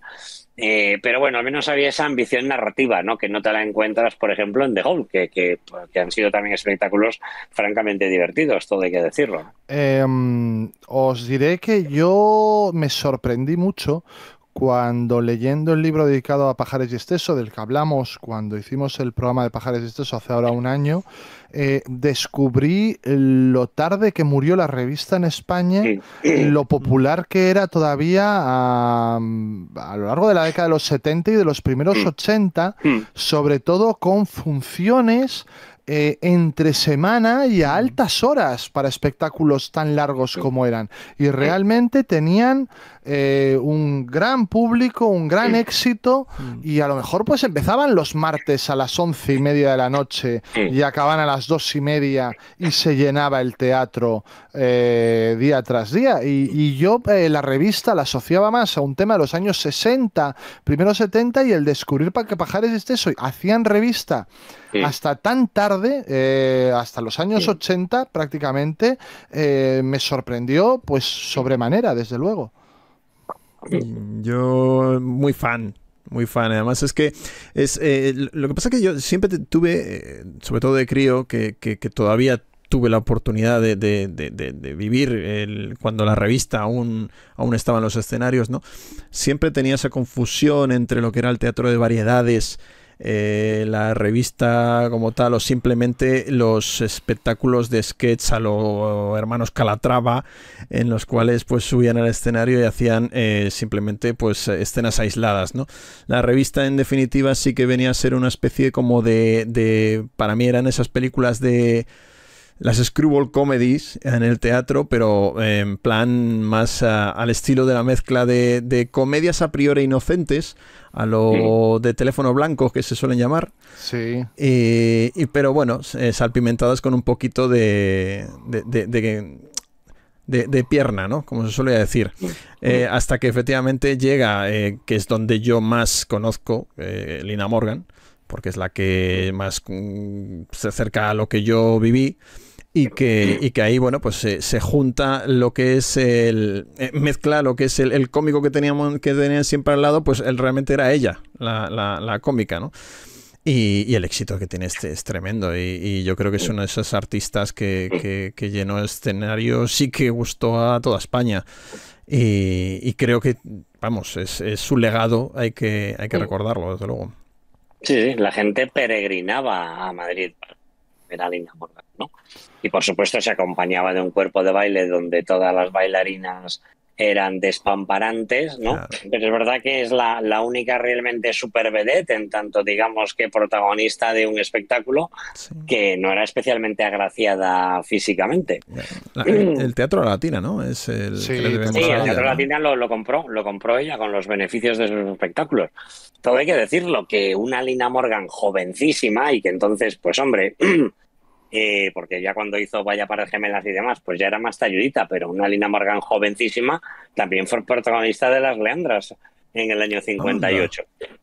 Sí, sí, o sea, empezó, empezó como vedette Lina Morgan. Yo, yo me acuerdo... enseguida se descubrió su viscómica, ¿no? Claro. Y empezó a explotar ese camino. Yo me acuerdo cuando mm, tuvieron una agria polémica eh, Norma Duval y eh, José Luis Moreno, que la forma que encontró José Luis Moreno de humillar a Norma Duval, además exitosamente, porque recuerdo a Norma Duval completamente fuera de sí, eh, fue referirse a ella como bicetiple. Eh, y Norma Duval decía, me ha llamado bicetiple, a mí. y, y, a mí aquello siempre me hizo mucha gracia. Es un recuerdo que tengo de crío por lo jerarquizadas que estaban yeah. las categorías dentro de este tipo de espectáculos. Sí, señor. Claro, eh, imagínate. Por, por cierto, re recordar que en el catálogo de Flixolé hay un montón de películas de Lina Morgan y entre ellas está esa mm. maravillosa serie de Hostal Royal Manzanares que tenía algo de revista también, solo que quizás sin números musicales, por así decirlo, pero... Sí, pero, pero realmente, sí, sí, la, la, historia estaba impregnada un poco de, de, de ese estilo, ¿no? Sí, sí. Eh, pues... dice, dice Luna Byron, Las Leandras, peli asociada al domingo en la sobremesa en casa de mis abuelos. Y dice Pei José, Las Leandras, ese se llamaba, abrimos comillas, un bar, cerramos comillas, de mi pueblo. Eh, perdón, pues Rufino, mira, que eso te tiene que ver también con esta historia, porque al final una de las confusiones de, de, de esta historia está en la escuela de señoritas donde, donde eh, se aloja la protagonista con sus compañeras de espectáculo teatral y una de las confusiones surge porque ese mismo edificio había sido previamente pues un burdel, ¿no? Sí, señor. Y eso da lugar a, a equívocos divertidos. Seguro que es aquí, tío. Estas son las señas que me dio don Emilio el notario. Dice que era la mejor de Madrid. ¿Pero cuándo ha venido aquí don Emilio? Cuando estaba preparando las oposiciones. ¿Las oposiciones? ¿Si se va a jubilar? Si son todas de la quinta de don Emilio, yo no entro. A todo tienes que ponerle pegas. Y, y, hablando de estas categorías jerarquizadas y de, del estatus que tenía cada uno de ellos, está muy bien cómo empieza la película con Celia Gámez cediéndole el testigo a Rocío Durcal de un modo, eh, no es que ya que rompa la cuarta pared, o sea, es que es, que es directamente reconocer desde el principio el tipo sí, de ficción sí. en el que estamos sí, y, y, es algo como muy icónico, ¿no? Pero me, vamos, hizo mucha gracia. Rocío Durcal inventando el metacine Total. El metalenguaje de cinematográfico. Es que el, el, arranque de la película me parece en ese aspecto súper moderno. Me parece que además está eh, marcando ya un poco el, efectivamente el, el testigo a una Rocío Durcal que está, por cierto, fantástica. Yo sí. diré que cuando empiezo a ver la película, no la había visto, yo la única que había visto de las tres es la tercera que vamos a mencionar. Y, y bueno, pues eh, como decíamos antes de, de, empezar el programa, qué sorpresa cuando de repente, claro, asocias ciertos, eh, ciertas canciones que obviamente las has escuchado toda la vida y que no sabías que estaban aquí.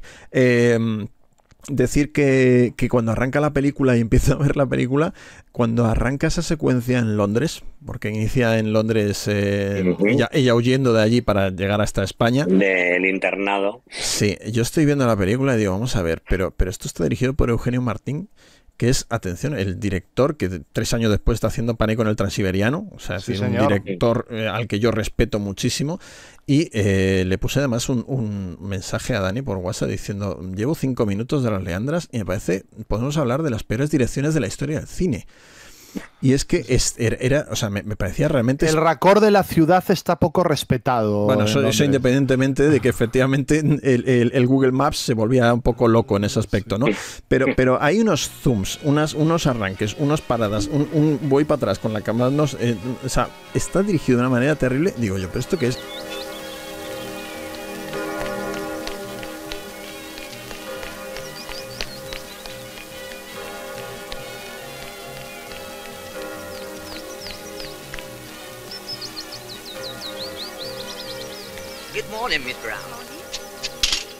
Justo llegan a Madrid, que es a los nada, a los 5 minutos de película, 8 minutos de película, y la película cambia totalmente. Y está muy bien dirigida, de hecho las, los números musicales están francamente bien dirigidos, los encuadres son eh, para coger eh, frames y, y, entre que la fotografía es maravillosa, porque la copia, insisto, es maravillosa de colores y, y, y cómo está encuadrada todo. Y es que mmm, al final mmm, llega a la conclusión de que la secuencia, toda la parte de Londres no está dirigida por Eugenio Martín yeah. y que es una segunda unidad que mandaron allí con, con alguien y dijeron, mira, sácame planos de Londres. Porque no tiene sentido ninguno. O sea, es, es muy diferente probablemente también Eugenio Martín lo que te diría es claro, es que allí la protagonista está desorientada, no es su lugar y es el modo de expresarlo cinematográficamente a través de las imágenes. Es, estoy, y está, oye, te tiene que callar la boquita estoy si te totalmente dices de Eugenio Martín. Sí, estoy, el, el, que estaba así, perdido era yo. Así es, así es Eugenio Martín. Sí, señor. En fin, pero sí que es verdad que luego también vi que el rodaje era en Madrid y en Londres, o sea que ese Londres es real, ese Londres sí. allí se fue el sí. equipo y tal y cual para para, eso tres minutitos de, de, película del inicio, pero es que después el enredo está Oye, fantástico. Y, y, que bien hablan inglés en Londres. ¿Verdad? Y qué poco les cuesta. Sí. Qué locura. Pero es que detrás hay otro nombre que a mí me gusta mucho. Frusna, que es Santiago Moncada sí. en el guion, Ajá. que es un Sí. dramaturgo eh, excepcional Sí. y que los enredos los maneja, eh, bueno, autor de, por ejemplo, de violines y trompetas, de tantas obras de teatro. Parecimines, y, en fin. Y es que el enredo de la película es maravilloso. Sí, me mejora por momentos, ¿eh? La película. ¿Verdad? Sí. ¿Verdad? Va hacia Sí. arriba, va hacia arriba. Sí. Y, y- y- y realmente el tercer acto y el segundo, incluso ya cuando se da lugar a todo el enredo, cuando todas las piezas están encima del puzzle, eh, todas las piezas están encima del puzzle, a lo mejor es una expresión a la que le tengo que dar alguna vuelta. Pero, pero en ese momento todo carbura ya. Mm. Yo, sí, estoy- Es muy fiel eh, al original escénico, no obstante la historia. eh. Yo creo que eso sí debe estar eh, súper bien destilada y reorganizada para, para la versión cinematográfica. Pero bueno, es verdad que, hombre, ver el nombre de Moncada entre los eh, guionistas de la película, pues, pues es una, es una alegría, ¿no? No, y muy bien desarrollado visualmente. Porque hay, hay momentos en los que, bueno, para empezar, eh, los enredos que se dan eh, arriba, abajo, escalera arriba, escalera abajo, que vuelve a haber otra, otra escalera, están muy bien la arquitectura del visual, que eso es una cosa que también nos preocupa, sobre todo a Dani, que sé que mucho. Sí, soy Y- muy maniático de eso. Y, y está muy bien coreografiada. No solo los números musicales, sino los gags visuales y los enredos visuales. Eh, los de típicos de detrás de la puerta está esta persona, pero luego viene otro otro. Y, y, en ese aspecto me recuerda mucho a, las comedias clásicas de que soy un gran amante de Blake Edwards. A mí me, me, recordó en algunos momentos a esas eh, comedias de enredo con musical que después veremos en Víctor Victoria, por ejemplo, esa, esa línea que, está, de verdad, que está francamente bien cuando la película se pone, se pone rica. Eh, la verdad es que a mí personalmente me ha parecido que, que chapó. Eh, decir, por cierto, y hablar de, las leandras es hablar de, de Rocío Durcal, que, me parece que está fantástica.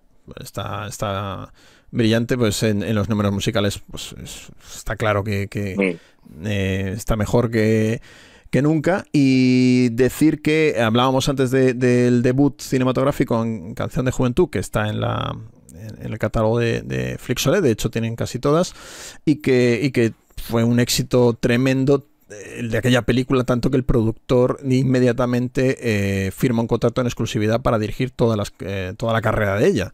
Y entonces a partir de hace Rocío de la Mancha y... Rocío de la Mancha también es una película en la que sale el nombre de la cantante en el título. Vamos a pues tener que hacer dos programas. Pues eh, es, como lo de Song Him the Movies, ya Está, ya está, no, o sea, es, que, es que estamos tardando, también te lo digo, ¿eh? Claro, o sea, de verdad, Pero bueno, cada vez hay más. Vamos, estás tomando nota, ¿no? Todo, todo, todo, todo.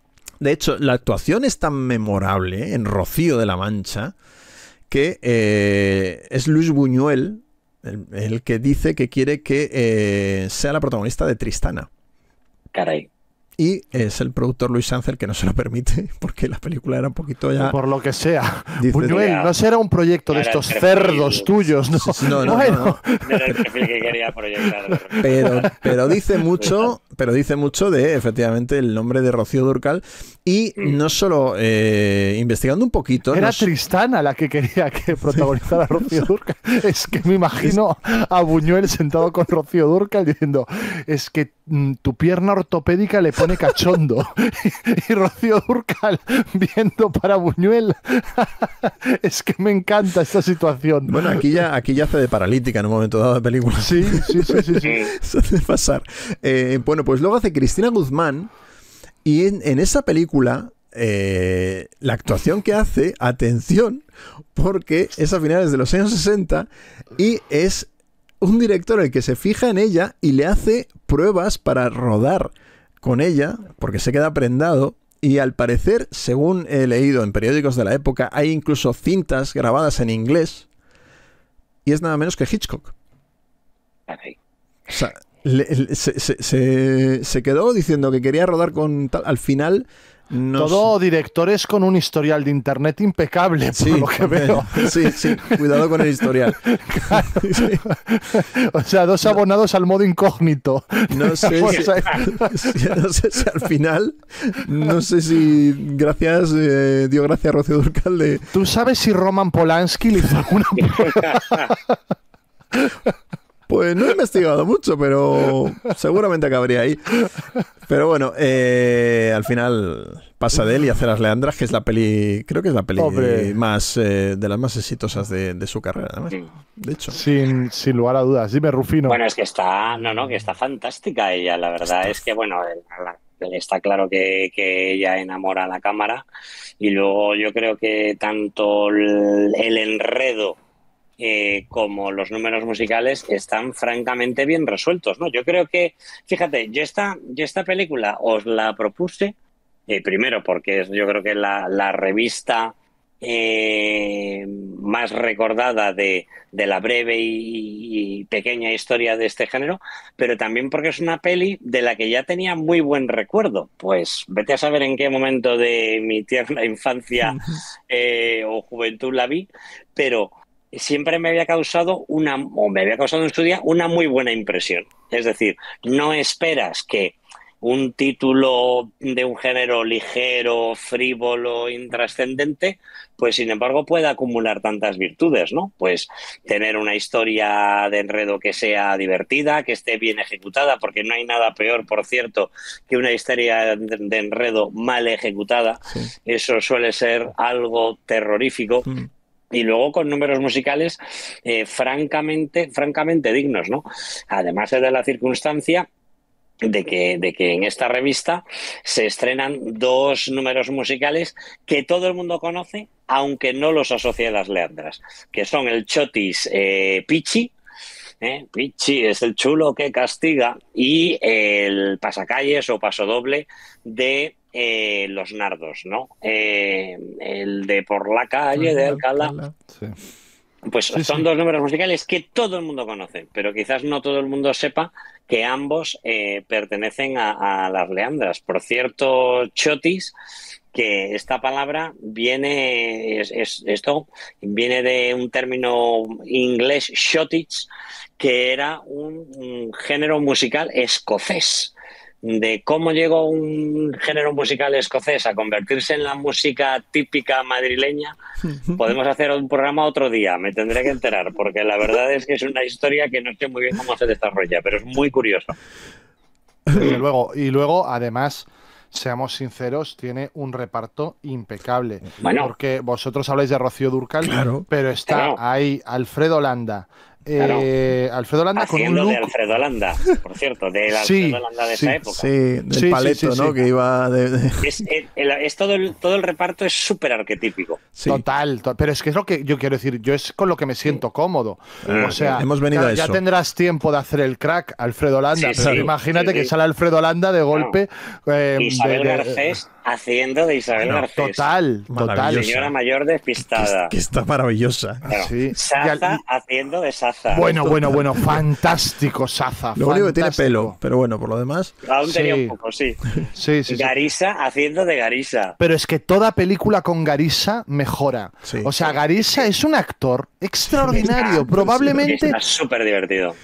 probablemente un, un actor de un solo registro. Lo que queráis. sí. Pero yo Sí. siempre digo lo mismo. Cary Grant también tenía prácticamente solo un registro. Está fantástico. Sí, sí. Nadie lo manejaba mejor sí. que él. Eh, Sí, Garisa es ese tipo de actor. Eh, eh, eh, luego sale por ahí doctor Jeremy Bullock. Sí. Mm. Que para ti eh, supongo que es un nombre también especial. Bueno, esto es divertidísimo. Jeremy Bullock, que si mis fuentes no me engañan, era Boba Fett. Claro, era Boba Por eso Fett. digo, sí, sí, sí, no, no. Claro, que, que cuidado. El, el bofeto original. Quizás es el que está menos bien de todos. Sí, También Tiene un aire a Hugh, galán, a Hugh Laurie en esta Sí, película. Pero, pero me Es- parece que es el galán británico del que se enamora Rocío Durcal. Claro, ya, eh, doblado, claro, obviamente, porque ya saben que, es lo, es que Sí. pasa, ¿no?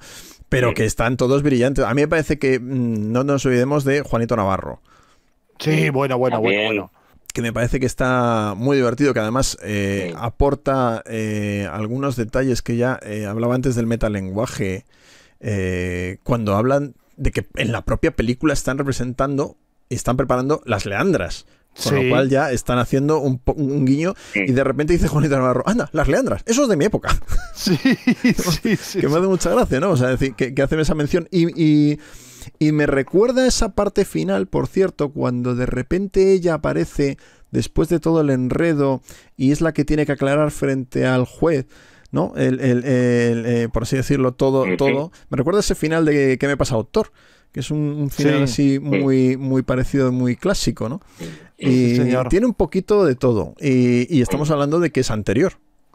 To- Total, total, total. Pero bueno, ¿qué me pasa, Doctor? Ya también es una peli muy posmoderna también. Sí, En el, en el sentido de que es una peli que bebe ya de muchas fuentes. Por cierto, decís Alfredo Landa haciendo de Alfredo Landa, pero con un peinado imposible a lo Arnaldo Tegui, que se perdió. El, el Landa joven eh, podría haber sido para un biopic de Arnaldo Tegui fantástico, porque no me lo podía quitar de la cabeza a medida que lo veía en la, en la película. Por cierto, una película mm, que es un término que me gusta mucho usar y los que, los que sois fieles al canal ya me lo habréis oído, porque además yo siempre lo digo como algo muy positivo, una película muy pop, muy, Sí. muy Sí. propia de su época. Sí. Ese, ese mobiliario inflable Sí. que tienen eh, esos sillones Sí, inflables imposibles, el, el- las escaleras transparentes, eh, que de nuevo nos encontramos con unas escaleras que tienen muchísima importancia en la película, se pasan media película subiendo y bajando esas escaleras transparentes y que son muy de la época. El teléfono que usa. El teléfono, Sí, el sí, teléfono es súper pop. de- debajo. La camiseta que lleva la chica con el conejito de Playboy. Sí. O sea, está lleno de iconos, de diseño, de referentes que te sitúan perfectamente en una época y en un lugar y que a mí es algo que me gustaba mucho del cine español de la época y que he visto hoy eh, llama especialmente la, la atención y te, te ayuda a, a ubicarte, desde luego. Y, que- Y por cierto, y, ah, a, perdón, y a no. la fo- y a los colores de la fotografía también, ¿eh? Sí, Mm, mm, Los mm. una colores foto muy pastel, muy... como muy monocromáticos, azules mucho y ese clarabow que estamos viendo ahí en la, en la foto que además está, Sí. está brillante también. Fantástico. Eh, por cierto, antes hablabas de Bob Fosse, pero yo en esta película sí que veo unas influencias de Bob Fosse. También. Pero, pero, Sí, pero, claro. pero en el número de Pichi, el número de Pichi podría estar dirigido por Bob Total. Fosse. Sí. Literalmente. Sí. Sí, sí, el cuerpo de baile se mueve, vamos, como en una coreografía de Bob Fosse, sí, sí. Exactamente igual, sí, es verdad. Mm, mm, mm, mm. Incluso al final, Saza, en el número final, hace unos, unos eh, pasos tipo Fosse, que es algo que jamás pensaría que, que- que existiría, que es Saza arrancándose por Fosse. Vamos, me, Sí, me sí, encanta. Saza bailando y además solo Fosse, sí, sí. Y Me bueno, ni hemos hablado de Celia Gámez, que obviamente, claro, Mm. es- Claro. pues, hombre, es- el clásico. Claro, exacto, la, la, la vedette que lo estrenó, ¿no? Y, y que está también muy presente, muy presente en la película, ¿no? Por supuesto, de hecho, es la que presenta la película, la que abre la película. De hecho, ¿no? No, no lo hemos dicho, dejadme decir eh, Sí, sí. que el original teatral que se estrenó en el año 31, es decir, casi, Sí. casi hace 100 años, Es pensadlo. increíble. Hace casi 100 años en el Teatro Pavón eh, tenía un libro de Emilio González del Castillo y José Muñoz Román y partitura del maestro Alonso, de Francisco Alonso. Y este, esta revista, lógicamente, ha pisado muchísimas veces los escenarios desde entonces. Os decía antes, eh, en 1958 con Lina Morgan, en 1979 con María José Cantudo. Oh. Entre medias, la propia Celia Gámez hizo una reposición actualizada que se llamó Mami, llévame al colegio. Eh, pero es que antes de la versión cinematográfica de la que hablábamos hoy, del 69, hubo otra en el año 61, Sí, protagonizada por Rosario Durcal.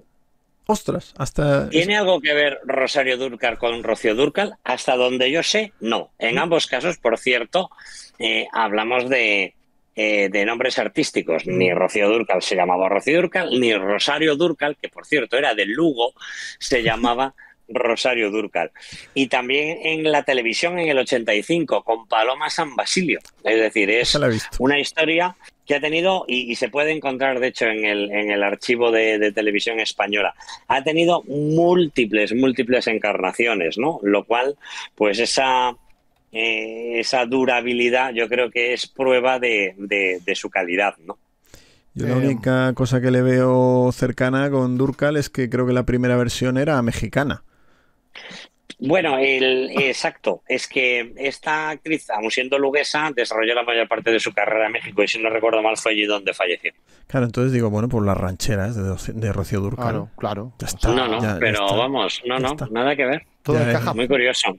Por cierto, por hablar de algún punto estrictamente cinematográfico, me hace mucha gracia ese momento en el que ella le tira varias cosas al personaje de Alfredo Landa y un zapato impacta abiertamente contra el objetivo de la cámara.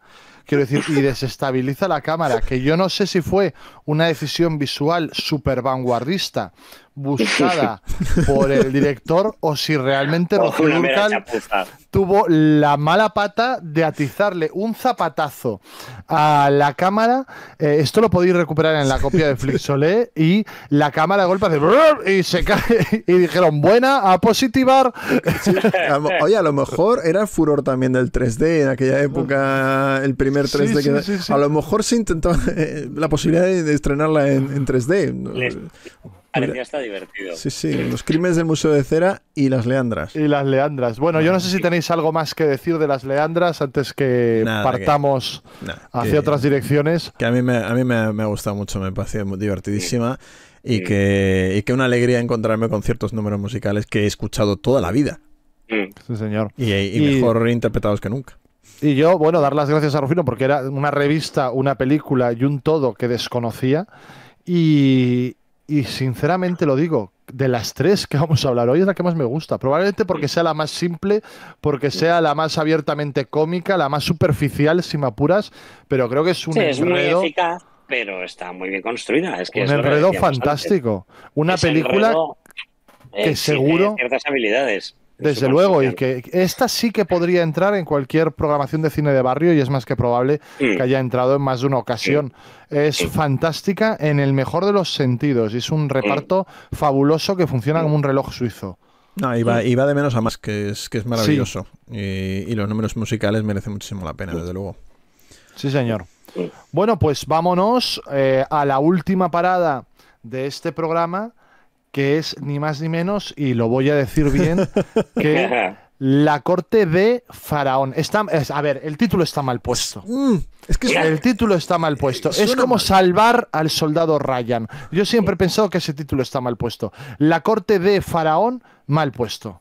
O sea, mal puesto. estoy convencido que 99,9% de la gente dice la corte del faraón. Pero porque es como hay que decirlo. De verdad. Porque es como hay que decirlo. Rufino, eh, quiero preguntarte, ¿por qué nos has traído esta película con esta mierda de título? Eh, que ya, ya- ya me he Y calentado. seguro que el- mira, y seguro que Dani se pone nervioso porque le falta la tilde ahí en el póster. Boh, me pone malo ese tipo de cosas, por Dios. Qué, qué asco le estoy cogiendo a esta película. Porque está en Flixolé, que si no, no la recomendaba, te lo digo.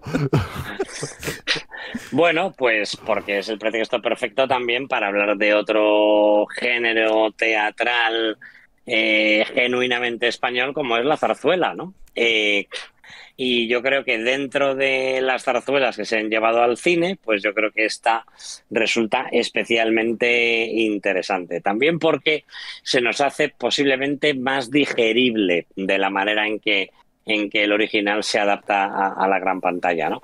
Pero bueno, si queréis os explico un poco primero qué es esto de la zarzuela. ¿eh? Te lo voy a preguntar, Rufino. venga. Rufino, ¿qué es esto de la zarzuela? Es Por verdad, favor, oye, explícanos, me ilústrame. interesa, me Me interesa alegro, mucho. me alegro de que me hagas esta pregunta. Porque yo tenía un me disco, pues yo tenía un vinilo de Luis Cobos, que, que- que creo que tuvimos media España, que ponía zarzuela. Antología de la zarzuela. Eh, bueno, fíjate, la zarzuela quizás, quizás no se haya extinguido completamente como la revista, no es así ni mucho menos. Hay un teatro de la zarzuela en Madrid todavía en activo que programa bastantes títulos cada temporada, pero es verdad que es difícil fuera de ese teatro eh, encontrarse títulos de zarzuela. No es habitual encontrárselos en el Real o en el Liceu y quizás en alguno de los teatros de ópera de provincias se pueda encontrar algún título programado de vez en cuando. Y lo mismo ocurre en otros teatros del circuito internacional. Eh, yo creo que la zarzuela merecería seguramente mejor suerte, eh, pero bueno, por la razón que sea, la verdad es que no está teniendo la misma resonancia que tiene pues eh, la ópera francesa, la ópera italiana o, la ópera eh, alemana, ¿no?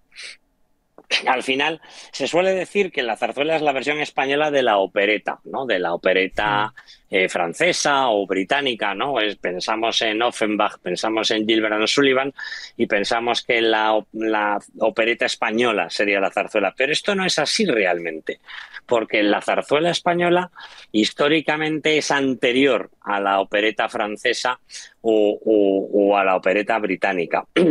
Todos estos eh, subgéneros así comparten una característica relevante que es la de que hay partes cantadas eh, donde la tesitura lógicamente exigida es la operística pero que se combinan con partes habladas.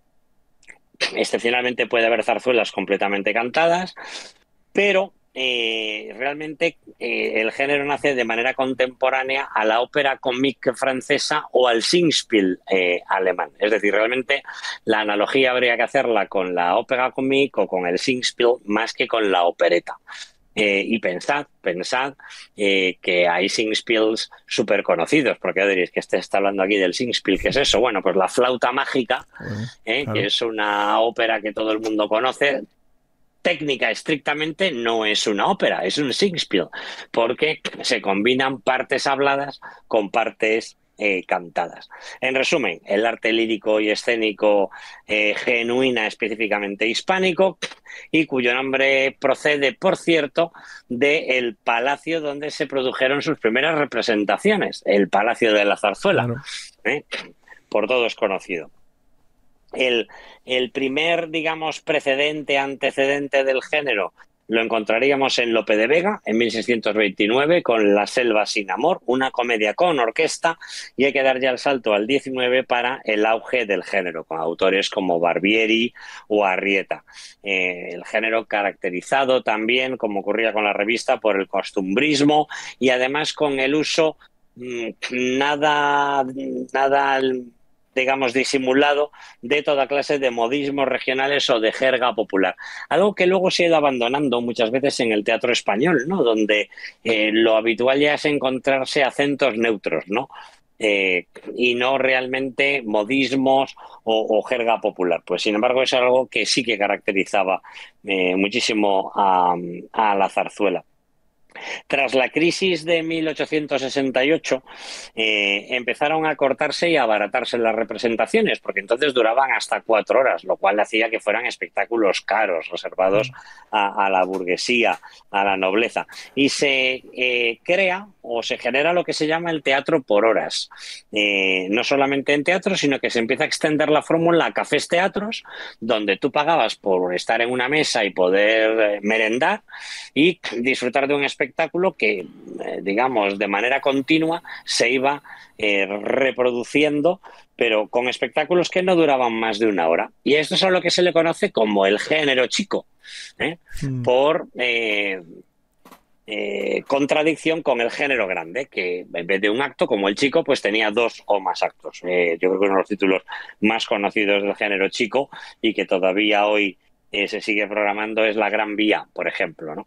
Sí. El cenit artístico del género llega a principios del 20 con títulos como El puñado de rosas, Doña Francisquita, Gigantes y cabezudos, y en paralelo al género chico y al género grande nace el género ínfimo, que degeneraría en la revista. ¿Por qué? Pues eh, porque se conocía como ínfimo, no solamente por su brevísima duración, sino también porque ya pues empezaba a cruzar, eh, en fin, eh, esas líneas de la decencia y ya empezaba a haber pues escenas verdes que se llamaban entonces y letras con doble intención. De todo esto, el ejemplo paradigmático es la corte de Faraón, ¿eh? que a su vez algunos dicen que se inspira en una opereta francesa, Madame Potifar, aunque también muchas veces nos parece una eh, mera eh, parodia de Aida de Verdi, ¿no? Sí, eh, desde sí, luego sí. comparte buena parte de sus personajes y situaciones, pero desde una visión muchísimo más cómica. Hasta la guerra civil, pues destacan muchísimos autores como Vives, Alonso, Padilla, Sorozábal, Modeno Torroba, Guerrero, pero desde entonces el género ha languidecido, ¿no? Apenas ha habido eh, estrenos, aunque se siguen produciendo, y la zarzuela es verdad que en Madrid, eh, pues normalmente cada año en su programación incluye un estreno absoluto, eh, y el propio Teatro de la Zarzuela, sobre todo en esta última etapa con Daniel Balanco como director artístico, también se han esforzado mucho en tratar de actualizar el género, ¿no? Pues refrescando los libretos con dramaturgos contemporáneos, trayendo eh, también directores que sean, que arriesguen, ¿no? Tratando eh, de eh, rejuvenecer el género. ¿no?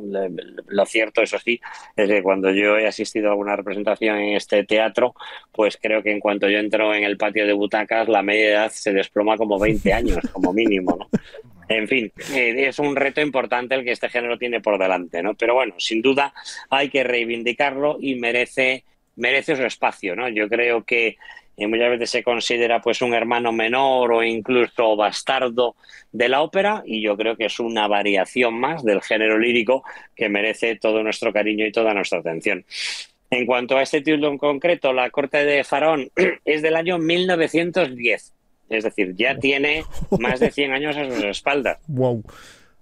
Se estrenó en el Teatro Eslava, hoy en una célebre discoteca, -huh. con libro de Guillermo Perrín y Miguel de Palacios y música del maestro Vicente Lleó. eh, realmente es una zarzuela, eh, pero donde podemos encontrar elementos de opereta, de revista. Pertenecería a ese género también llamado cicalíptico, donde abundan lo- lo- los, los dobles eh, entendidos, las dobles intenciones, la picardía, ¿eh? y tuvo una primera versión cinematográfica en México en 1944, hasta que luego ya José Luis García Sánchez, con la ayuda de Rafael Azcona, la adapta para la película de la que vamos a hablar ahora, de 1985. Pues sí, señor. Y os, os voy a decir una cosa. No es una peli que a mí me entusiasme, eh, por decirlo de algún modo, pero es que eh, José Luis García Sánchez es un director que a mí nunca me ha gustado demasiado. Eh, volvió a intentarlo con el teatro y el musical en una de sus últimas películas, que era Don Mendo Rock, La Venganza. Bueno, y, y realmente no, no soy un especial fan de su cine. Hay, hay cosas que me interesan mucho de esta película. eh, la fotografía de nuestro amigo José Luis Alcaine, por ejemplo. Eh, me interesa mucho ese reparto berlanguiano. eh, maravilloso y kilométrico mm, que proviene también de esa adaptación literaria de Azcona eh, al guion, pero yo no puedo dejar de pensar en, en lo que hubiera hecho Berlanga, por ejemplo, con este argumento o con este material. ¡Casto José! ¡Siento, padre, huye! ¡Padre, que está La iglesia nunca se toma la justicia por la mano ni cuando la Inquisición, la Inquisición entregaba a los reos al brazo secular, o sea, a nosotros. Bueno, bueno, ahora comerse la paella, si no el arroz se pasa. Es de pollo y de marisco, ¿no? Pero suéltame, hombre. Eh, entonces, pues bueno, eh, ahí me quedo un poco. También os lo comentaba antes que igual que la gente del canal sabe que yo no soy el mayor fan del cine de los 70 por un motivo meramente estético, con el tiempo me estoy dando cuenta de que el cine español de los 80 ah, quizá es el que más me cuesta. Eh, pero ya por un motivo mm, de lo que hemos hablado mil veces, que son carencias mías como espectador y, bueno, pues meros gustos personales. Aquí yo no pretendo sentar cátedra, sino dar mi opinión sincera, que es algo que hago siempre en el canal. Dicho lo cual, doctor, eh, ¿qué tal tú? ¿Qué tal te llevas tú con la corte de Faraón? Bueno, tengo una especie de relación, no voy a decir amor-odio, porque no es, no es tan... mm, No, no me pasa tanto como a ti.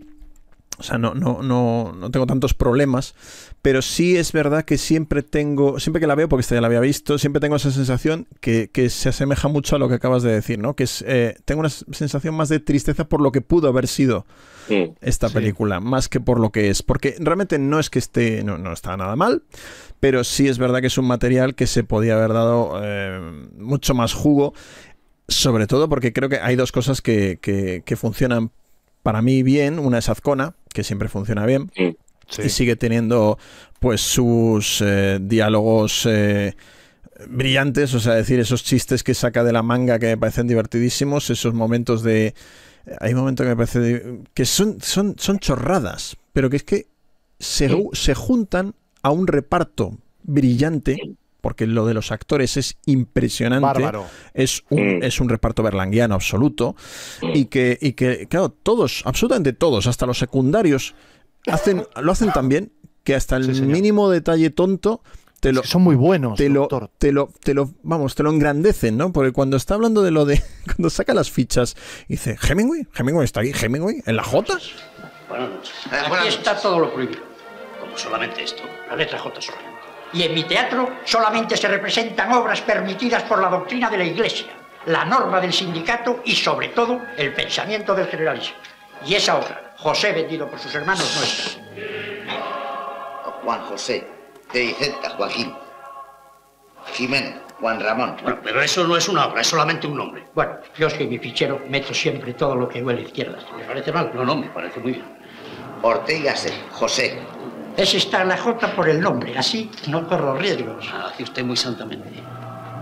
Hemingway, Ernesto. Pero Hemingway en la J. ¿Dónde quiere que lo ponga? En la G. Sí, maravilloso. Me parece, o sea, maravilloso. eh, un detalle tan tonto, lo hacen de una manera tan, tan, tan natural y con un diálogo pues tan ágil, que desde luego que está francamente bien. Y creo que sí, creo que la idea de, de Azcona eh, es buena, o sea, es decir, coger eh, y no hacer realmente la corte de Faraón. La corte de Faraón, como tal, es una excusa para hacer una película en torno a ella, porque la película no va de no, va no es la corte de Faraón, sino es eh, una compañía que está en una compañía, exacto, que está bueno montando una especie de, de, copia, ¿no? De, la, porque realmente es el Casto José este, ¿no? Y bueno, pues utiliza todo ese argumento y toda esa retórica para hacer realmente otra cosa, que, que, Azcona lo que te hace realmente aquí es utilizar materiales muy presentes en lo que son los géneros populares, pues para deformarlos mediante el lenguaje cinematográfico y, y hacer pues una sátira y una crítica social y una crítica a la dictadura franquista, ¿no? Y sobre todo a la, a la censura, una vez más, volvemos otra vez a la censura, en el caso, eh, pues focalizada en el clero, con Agustín González, que está impresionante, o sea, que, como siempre... Pero que es el mismo cura de la escopeta nacional. Es, el, mismo, es el mismo cura que hace siempre eh, eh, Agustín González, siempre hace el mismo, que, que está maravilloso. Y y bueno, pues eso me interesa, eso me parece que está muy bien. Y luego hay eh, una narrativa metalingüística, una vez más, en la película, que también me parece curiosa, que es, eh, primero que toda la película es un, como un flashback, un enorme flashback, pero es un flashback circular. Porque termina luego eh, la película otra vez, como, como recordándonos el momento en que les vuelven otra vez a meter en el furgón. O sea, tiene cosas interesantes desde el punto de vista narrativo, que es que no es un solo flashback de una persona, son diferentes flashbacks de diferentes personajes con lo cual diferentes puntos de vista narrativos y que toman el peso de la narración eh, diferentes y así van ensamblando la historia. No está del todo mal eh, eh, la idea. Es verdad que no creo que esté ejecutada de la mejor manera posible, pero ese germen está ahí y a mí eso sí me gusta bastante. Sí, señor. Sí, señor. Sí, a, mí me pasa igual, ¿eh? Yo, yo creo que, hombre, primero, la manera en que consiguen regalarnos los mejores, que no todos, números musicales de la zarzuela, eh, de tal manera que al final tú puedas eh, familiarizarte eh, con la historia de la corte de Faraón em, al mismo tiempo eh, que te explica la historia pues de esta eh, compañía más o menos amateur que está montando eh, esa zarzuela, aunque técnicamente no la, no la registren y no la declaren como tal, entre otras cosas, bueno, pues porque el título estaba prohibido durante el franquismo y también porque, en fin, el, el mm, hijo del, digamos, del productor se atribuye el mérito de haber escrito las canciones eh, abiertamente. La verdad es que yo creo que eso está muy bien traído. Es decir, al final, oye, pues puedes ver los mejores números musicales de la zarzuela y todo eso en el contexto de una historia divertida y, que es una sátira fantástica, pues de ese momento, como decía el doctor, ¿no? es verdad que yo creo que el problema está más en la ejecución. ¿No? Que probablemente le falte o pulso o chispa. Eh, los actores están muy divertidos, pero quizás podrían estarlo incluso más, ¿no? Eh, yo creo que, los, papeles más cómicos le saben sacar punta, pero hay otros papeles que se quedan un poquito mm, más, a, más a medio gas, ¿no? Eh, no estando mal, ¿eh? pero yo creo que Ana Belén o Banderas, eh, incluso, incluso Fernán Gómez, si me apuras, yo creo que no se les saca todo el partido, no se extrae todo el talento que, que cualquiera de ellos tiene, ¿no? Yo estoy de acuerdo, a mí me gusta mucho, bueno, Agustín González obviamente, y José, José Luis López Vázquez, que ya hemos dicho en este canal y en Cine Yolé, que es posiblemente el mejor actor de la historia del cine. Sí, sí, no del cine español, del cine. No, no, está fantástico. Y que está brillante. Y además es que, eh, no, eh, insisto, no es nada fácil eh, interpretar los diálogos de Azcona que parece... No, no, no. O sea, en un principio son eh, como algo... Conseguir hacer natural. Cuando eh, estabas diciendo ahora, Rufino, que me parece impresionante ese momento, no me voy a acordar ahora de la frase exacta, pero cuando, porque dice tres o cuatro o así, eh, cuando, cuando está diciéndole de repente que se ha copiado y ha plagiado la historia y tal, José Mayuste, y le dice José López Vázquez como diciendo, hombre, vamos a ver, esto no es legal, no sé de cuánto, hombre, que yo me he basado, o sea, no, copiar no, me he basado no sé qué. Y Agustín González le suelta ahí una perorata. Un momento. Plagio, no. Inspirada en la historia sagrada, sí. Yo lo que he contado es eh, la historia del Casto José. Claro, claro, claro, pero ese es el argumento, hijo mío. Pero ¿y la torpe reticencia? Y el regodeo en el detalle escabroso. Y la inverecundia de la mímica. Ah, eso es cosa de Corcuera. Que además tiene cara de rojo. La inverecundia de la mímica. O sea, la inverecundia. Es que me quedé con la palabra. O sea, me parece. O sea, decir eso que, que, que eh, con esa naturalidad. Con una naturalidad salvaje. O sea, te digo una cosa. Laurence Olivier o Daniel Day-Lewis no serían capaces de interpretar eso así, ¿eh? Lo digo completamente en serio. Lo digo de verdad completamente en serio. Es una cosa asombrosa. Totalmente de acuerdo. Eh, martes y 13, José Mayusti y Millán Salcedo están muy simpáticos. Millán Salcedo, por cierto, haciendo un blackface que a fecha de hoy eh, sorprende, pero que es, es, obviamente eh, tal y como se interpretaba eso en España en aquella época, ni más ni menos. O sea, hay decir, hay ahí un, una coartada histórica, evidentemente. Luis Ciges, que creo que oh. pocas veces ha estado más Luis Ciges que en esta película. Sí, nos olvidábamos de Luis Ciges.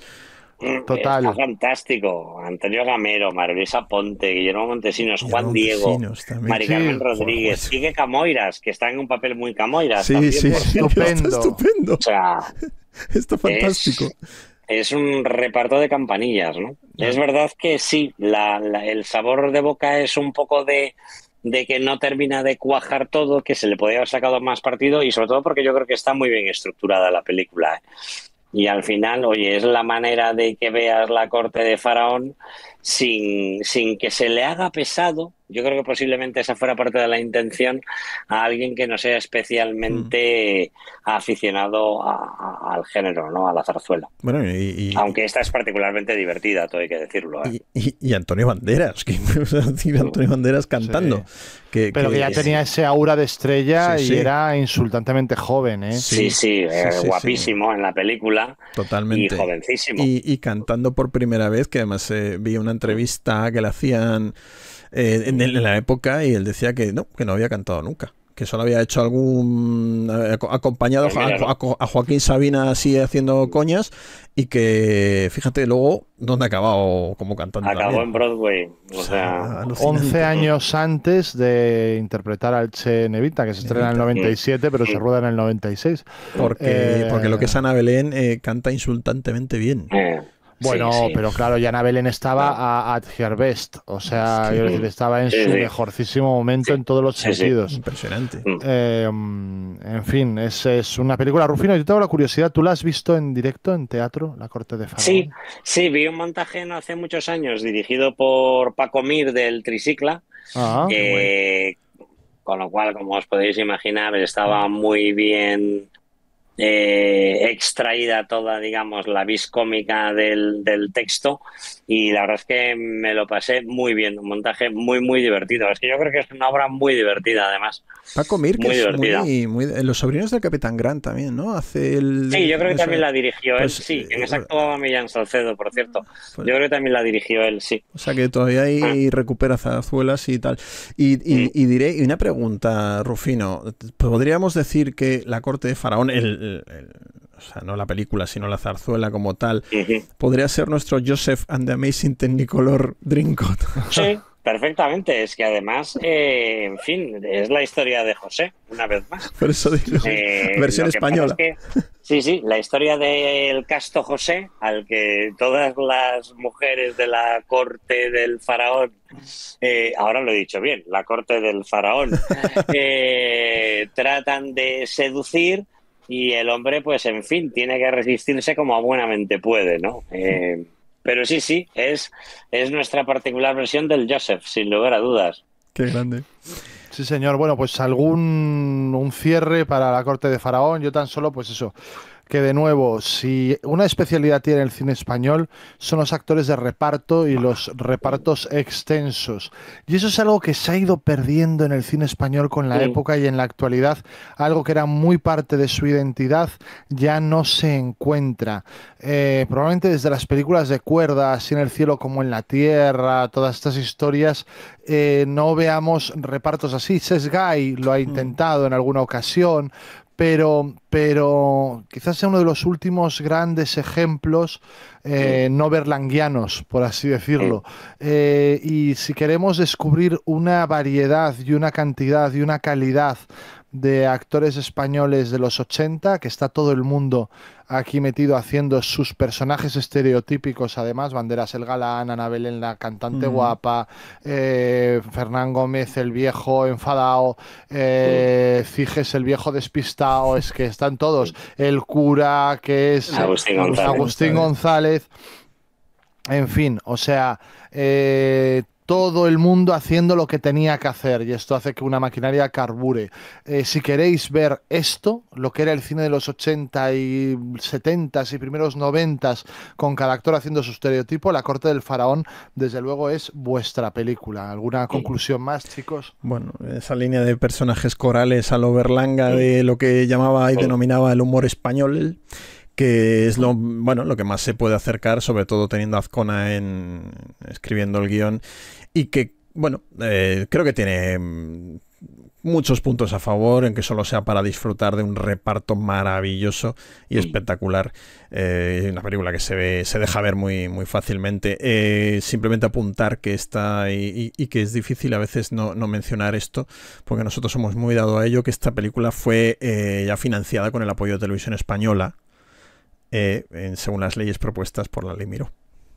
Mira, cuando vi el cartel al principio, me acordé, dije, me me dije además, me cago en la leche, no me llegaba con que no fuera la corte del faraón, sino que me recuerdan aquí, la ley miró, y ya cuando me y sin tilde, y sin- bueno, me, me pillé un rebote que Rosalía me decía, tranquilo cariño, cálmate, ¿cómo voy a calmarme?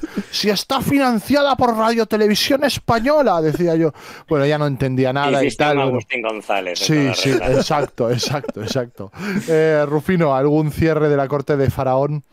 Nada, hombre, una película que vale la pena ver. No es perfecta, seguramente ninguna de las películas de esta noche lo es, pero todas tienen yo creo que algún ángulo por el que merecen ser rescatadas dentro del vasto, por otra parte, catálogo de musicales que podéis encontrar afortunadamente en Flixolé. Claro, porque si algo bueno tienen todas estas películas es que todas están dentro del catálogo de más de 4.000 títulos, Rufino, más de 4... ¿Tú sabes lo que son 4.000 títulos, Rufino? Yo hay tardes que no los veo. Claro, y además no todos están mal escritos como la corte de Faraón. O sea, quiero decir, eh, y son títulos que además tú pinchas en el título y te sale la peli. Porque tener 4.000 títulos es muy fácil, 4.000 títulos te los hago yo. Pero que estén las películas, eso solo en Flixolé. Flixolé, plataforma de vídeo bajo demanda en la que puedes suscribirte por nada, 3,99 euros al mes. O mira, mejor, cógete el año entero, no me seas agarrado. Es verdad. Coño, eh, 39,99 al año, que además ahorras unos cuartos, hombre, por Dios, y disfrutas del cine español de todas las épocas y géneros. De Buñuel, que casi rueda con Rocío Durcal, hemos aprendido hoy. A Alex de la Iglesia, Berlanga, Garci, Mariano Zores, Saura, y además el catálogo completo del RKO, hablaremos de él en algún momento, y títulos importantes de cine italiano clásico. Que te suscribes, 14 días de prueba gratis, sin compromiso, y puedes cancelarlo cuando quieras. Un día te levantas y "Ah, me levanto y quiero cancelarlo de Flix. Hombre, eso es una enajenación mental, porque ¿por qué vas a querer cancelarlo? Pero los de Flixolé no te juzgan. Te dicen que quiere cancelarlo usted, cancélelo, por el amor de Dios. Es que vi la, la corte de Faraón. Dije, pues cancélelo. No olvidéis entrar en flixolé.com para obtener toda la información. Qué maravilla estar aquí con Eh, Rufino. Gracias, Rufino, por explicarnos Fantástico. tantas cosas. Porque además, eh, sabes que me apasionan tus programas y me encanta verte hablar de, de- de todo lo relacionado con lo musical. Eh, vamos a despedirnos eh, hablando del futuro del canal, Eh, porque el miércoles que viene tendremos un nuevo Finchlandia. eh, miércoles 1 de mayo, ya el día del trabajo, El mundo perdido de Steven Spielberg. ¿eh? Eh, Aquí nosotros trabajando. Hombre, desde luego. ¿Pero qué es esto? Bien. ¿Qué es esto? Trabajamos no como el que le tenía que poner la L y la tilde al título de la corte de Faraón. Eh, y. y La corte de eh, Faraón. De Faraón, no, no sé cómo es, es que es Claro, una es cosa muy compleja. Eh, y luego, ¿qué nos va a traer Cine Yolé el próximo 6 de mayo? Pues Cine Yolé el próximo 6 de mayo, un programa, doctor, que nos va a hacer millonarios.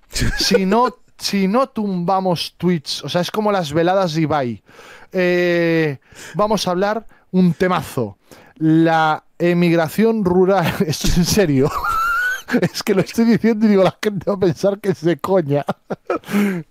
La Oye, emigración oye, oye, dos del peliculones. rural a la ciudad que en la España de los años 50 y lo vamos a tratar con dos peliculotes que son Surcos y La ciudad no es para mí, un programa doble que solo podíamos ofrecer en el Cinemanicomio. Y en mayo, doctor, ¿qué nos va a traer en mayo? Nos pregunta la gente, hoy me paraban por la calle, ¿qué nos va a traer en mayo el, el famoso programa de Rufino, qué ruina de función a eh, Cine Yolé? Y entonces el otro día Rufino y yo tuvimos un cónclave en Madrid en el que discutimos acerca de esto y tenemos musical para el mes de mayo y vamos a hablar el mes de mayo de Hairspray más musical sorpresa. Sorpresa. Más musical sorpresa que está muy relacionado con Hairspray, aunque probablemente no como penséis. Como surcos. Eh, como surcos y la ciudad es para mí. O sea, es una relación. eh, dice. Luna Byron, emigración, risa, risa, risa, eh, facepalm. Pues la emigración no hace tanta risa. O sea, la gente de surcos no andaba descojonada, te digo, Luna Byron, que me volví a ver surcos el otro día y cuidado, que después me tuve que tomar un tranquimacín de cómo me quedé. Eh, Peliculote, obra maestra. Y, y- y La Eh, ciudad no es para mí obra maestra. Yo no sé cuál me gusta más. Te Sí, lo sí, digo no, no, completamente no, en serio. No, no, no es coña en absoluto, ¿eh? Te Las lo dos digo completamente en Me serio. flipan las dos. Pero bueno, todo esto, el mundo perdido, surcos, raciones para mí, hairspray, todo esto en un futuro. Porque eh, ahora lo que toca es despedirse, como ya hizo el doctor, de Rufino Pérez. Rufino, muchísimas, muchísimas gracias. Muchísimas gracias, queridos. Un Y placer muchísimas gracias. el programa con vosotros. A los 17 espectadores que a estas horas están viendo un programa dedicado a diferente, las Leandras y la corte del faraón en Twitch. De, de, ah, del De faraón. No, pero de faraón. Sé, es que, es que. Parece como el señor Anillo, de faraón. Faraón 451. En fin, bueno, eh, muchísimas gracias a todos y nos vemos. Adiós. Adiós.